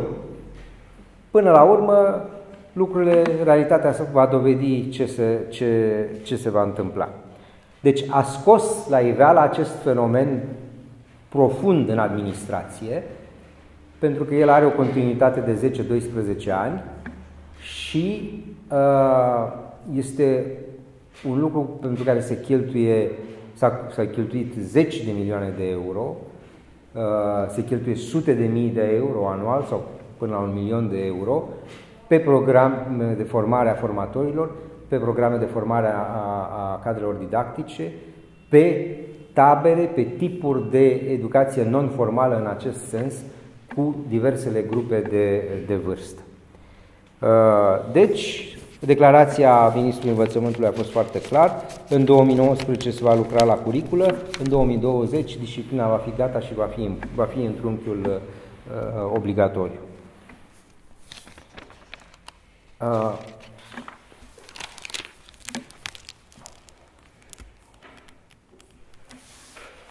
toate aceste lucruri care și întreaga campanie și întreg discursul care au trebuit să îmbrace, cum spun, necesitățile unui discurs public cu fundamentare juridică, constituțională, capacitatea de a răspunde unui tip uh, divers de argumentație, mă rog, morală, antropologică uh, și de altă natură, a fost fundamentat de un lucru foarte simplu, foarte uman, de ceea ce uh, trebuie și există în fiecare dintre, dintre noi. Faptul că a luat această dimensiune, mă rog, socială, la un dat politică, nu trebuie să-i ascundă izvorul. Iar izvorul este uh, cel pe care vi l-am spus, porunca evanghelică și simțul nostru intern când sufletul și mintea noastră uh, încearcă, mă rog, se încearcă asupra, asupra lor, asupra minții și sufletului, intenția, tendința de a fi captivă unei ideologii și unei politici uh, împotriva a tot ceea ce este firesc și a tot ceea ce este uh, normal. Statul trebuie să fie laic, dar statul nu poate deveni un instrument anticreștin și un instrument de decreștinare. Da? Nu, nu putem accepta trecerea acestei linii roșii.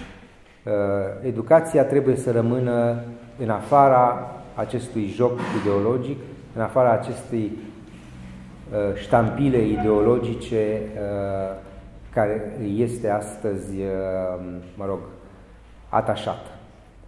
Una este discursul ONGistic, una este uh, capacitatea unor minorități sau, mă rog, uh, dreptul unor minorități de a-și apăra agendele și alta este captarea statului și transformarea statului într-un instrument de opresiune ideologică și de deconstrucție a, a minții și a sufletului unor, uh, unor copii. Cred că este limita pe care trebuie cu toții să o înțelegem și în acel moment inimile noastre trebuie să, sau celor care nu s-au uh, uh, dezîmpietrit, să o facă, pentru că să ne uităm în jurul nostru. Să ne uităm, de exemplu, la Bulgaria, care a refuzat să semneze, să ratifice Convenția de la Istanbul. Uh, există o, o, o mă rog, o hotărâre a Curții Constituționale Uh, Sinodul Bisericii Bulgare a refuzat de asemenea primirea acestei ideologii și funcționarea sistemului de învățământ după ea și sunt multe exemple în jurul nostru. Trebuie să fim mai, uh, mai, uh, mai veghetori asupra ceea ce se întâmplă în jurul nostru pentru că nu se întâmplă lucruri bune și tăcerea asupra acestor teme, tăcerea asupra acestor intruziuni, să știți că nu ascunde niciodată lucruri bune. Surprizele sunt întotdeauna neplăcute. Da?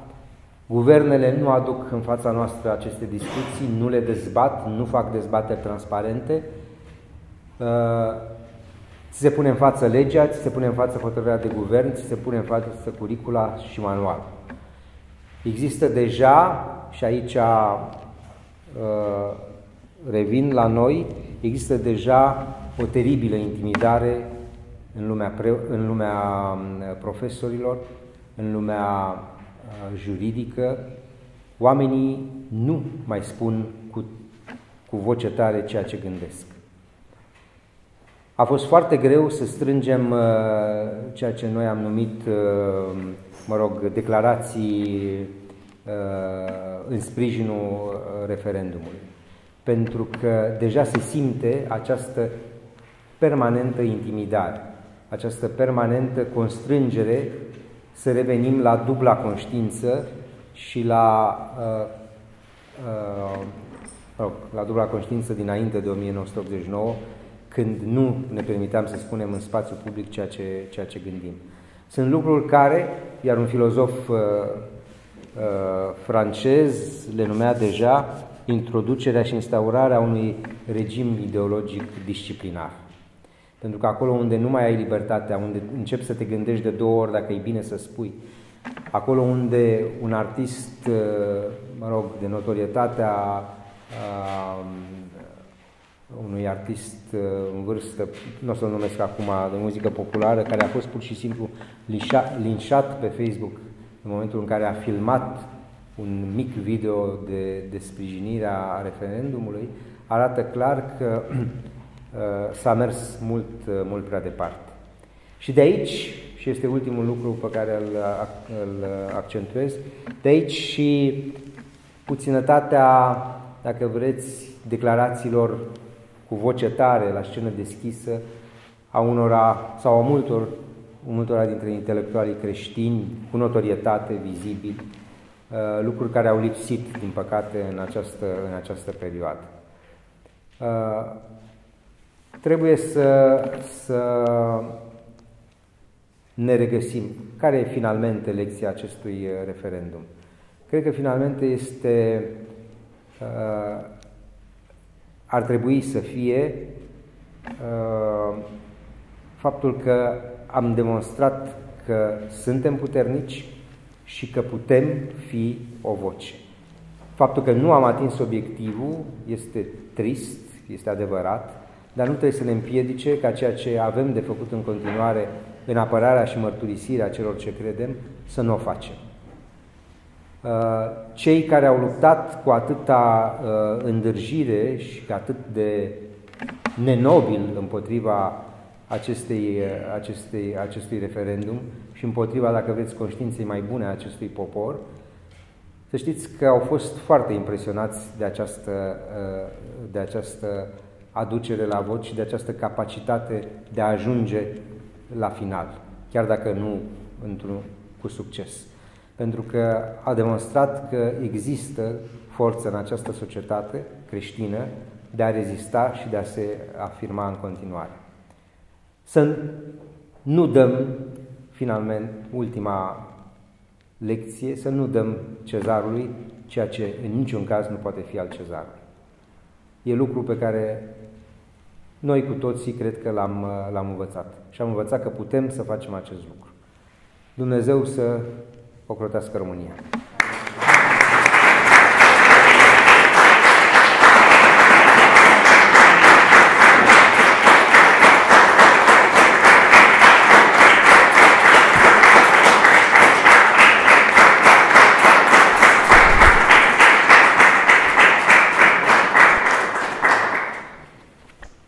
Acum nu vreau să mai uh, uh, lungesc în niciun caz, nu, nu vreau uh, să...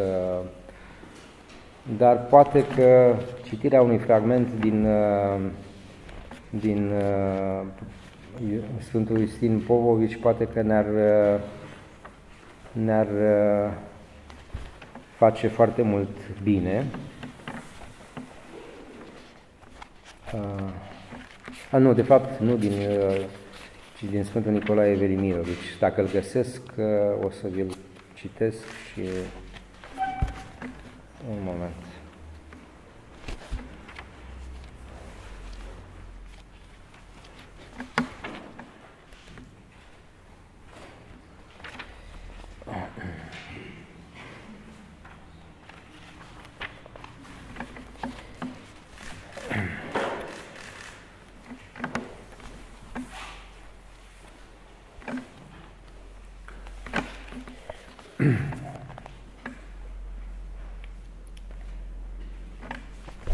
Fragmentul este, nu o să vi-l citesc pe tot pentru că este mai lung, dar este absolut fascinant.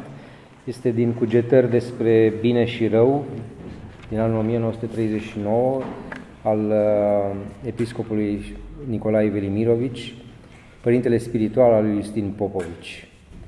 Și e, dacă vreți, uh, o descriere teologică a lumii în care am trăit și trăim, fără a judeca pe nimeni și fără a arăta pe nimeni cu degetul, dar o mai bună înțelegere și mai bună discernere a ceea ce trăim. Spunea Sfântul Nicolae Velimirovici, apusul trăiește în zbuciumare, răsăritul în resemnare. Apusul roade neîncetat din pomul cunoștinței și simte că este tot mai flămând după știință.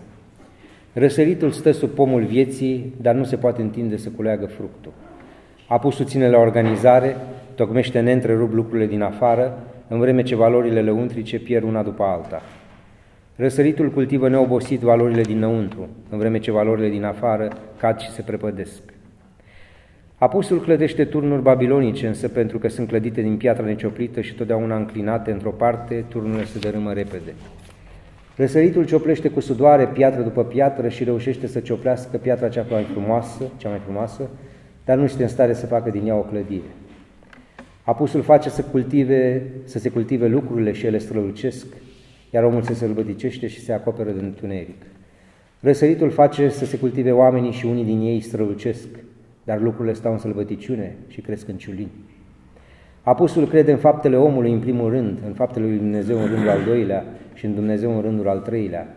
Răsăritul crede în Dumnezeu, dar nu pune niciun preț pe faptele lui Dumnezeu și înlătură faptele omului.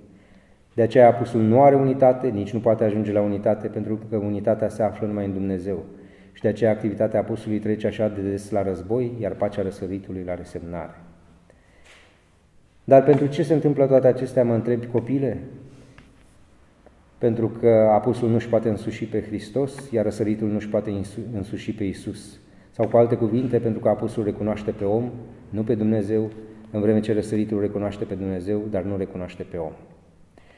De aceea apusul trăiește în zbuciumare, iar răsăritul în resemnare. Iar Iisus Hristos întinde amândouă mâinile ca să cuprindă într-o brățișare răsăritul și apusul, dar nu poate. Nu poate să strângă în aceeași îmbrățișare răsăritul din cauza nirvanei din el și apusul din cauza săbilor din el. Iată, răsăritul și apusul sunt în sufletul tău, zbuciumarea și resemnarea sunt semințe din aceeași arie. Pomul cunoștinței și pomul vieții cresc, cresc unul lângă altul, răsăritul și apusul se izbesc în fiecare om, dar nu înfățișează o vecinătate, ci un duel. Dacă răsăritul și apusul ar înfățișa vecinătatea și duelul, atunci pacea ar domni în om și în lume. Zbuciumarea și resemnarea ar fi înlocuite atunci cu puterile pozitive și bune. Cunoaște pomul vieții și te vei vindeca de bolile apusului și de bolile răsăritului și vei fi un om sănătos și întreg. Iar un om sănătos și întreg este optimist. Atunci activitatea și credința vor lua locul bolilor amintite și vor înflori pe gunoiul zbuciumării și al resemnării. Cugetări despre bine și rău, 1939, anul în care a început cel de-al doilea război mondial. Anul anii unei zbuciumări cumplite pentru întreaga noastră umanitate. Mulțumim mult, vă așteptăm la a treia ediție.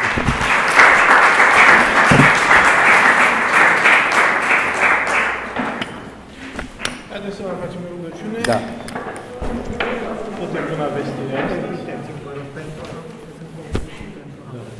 Da, da. În numele Tatălui și al Fiului și al Sfântului Duh. Amin. Cuvine-se cu adevărat să te fericim pe tine, născătoare de Dumnezeu, cea pururea fericită și prea nevinovată și Maica Dumnezeului nostru, ceea ce ești mai cinstită decât heruvimii și mai mărită fără de asemănare decât serafimii, care fără stricăciune pe Dumnezeu cuvântul ai născut, pe tine cea cu adevărat născătoare de Dumnezeu. Slavă Tatălui și Fiului și Sfântului Duh și acum și pururea și în vecii vecilor. Amin. Doamne, mântuiește, Doamne, mântuiește, Doamne, mântuiește. Cu noi este Dumnezeu cu al său har și să iubire de oameni, totdeauna acum și pururea și în vecii vecilor. Mulțumim. Mulțumim.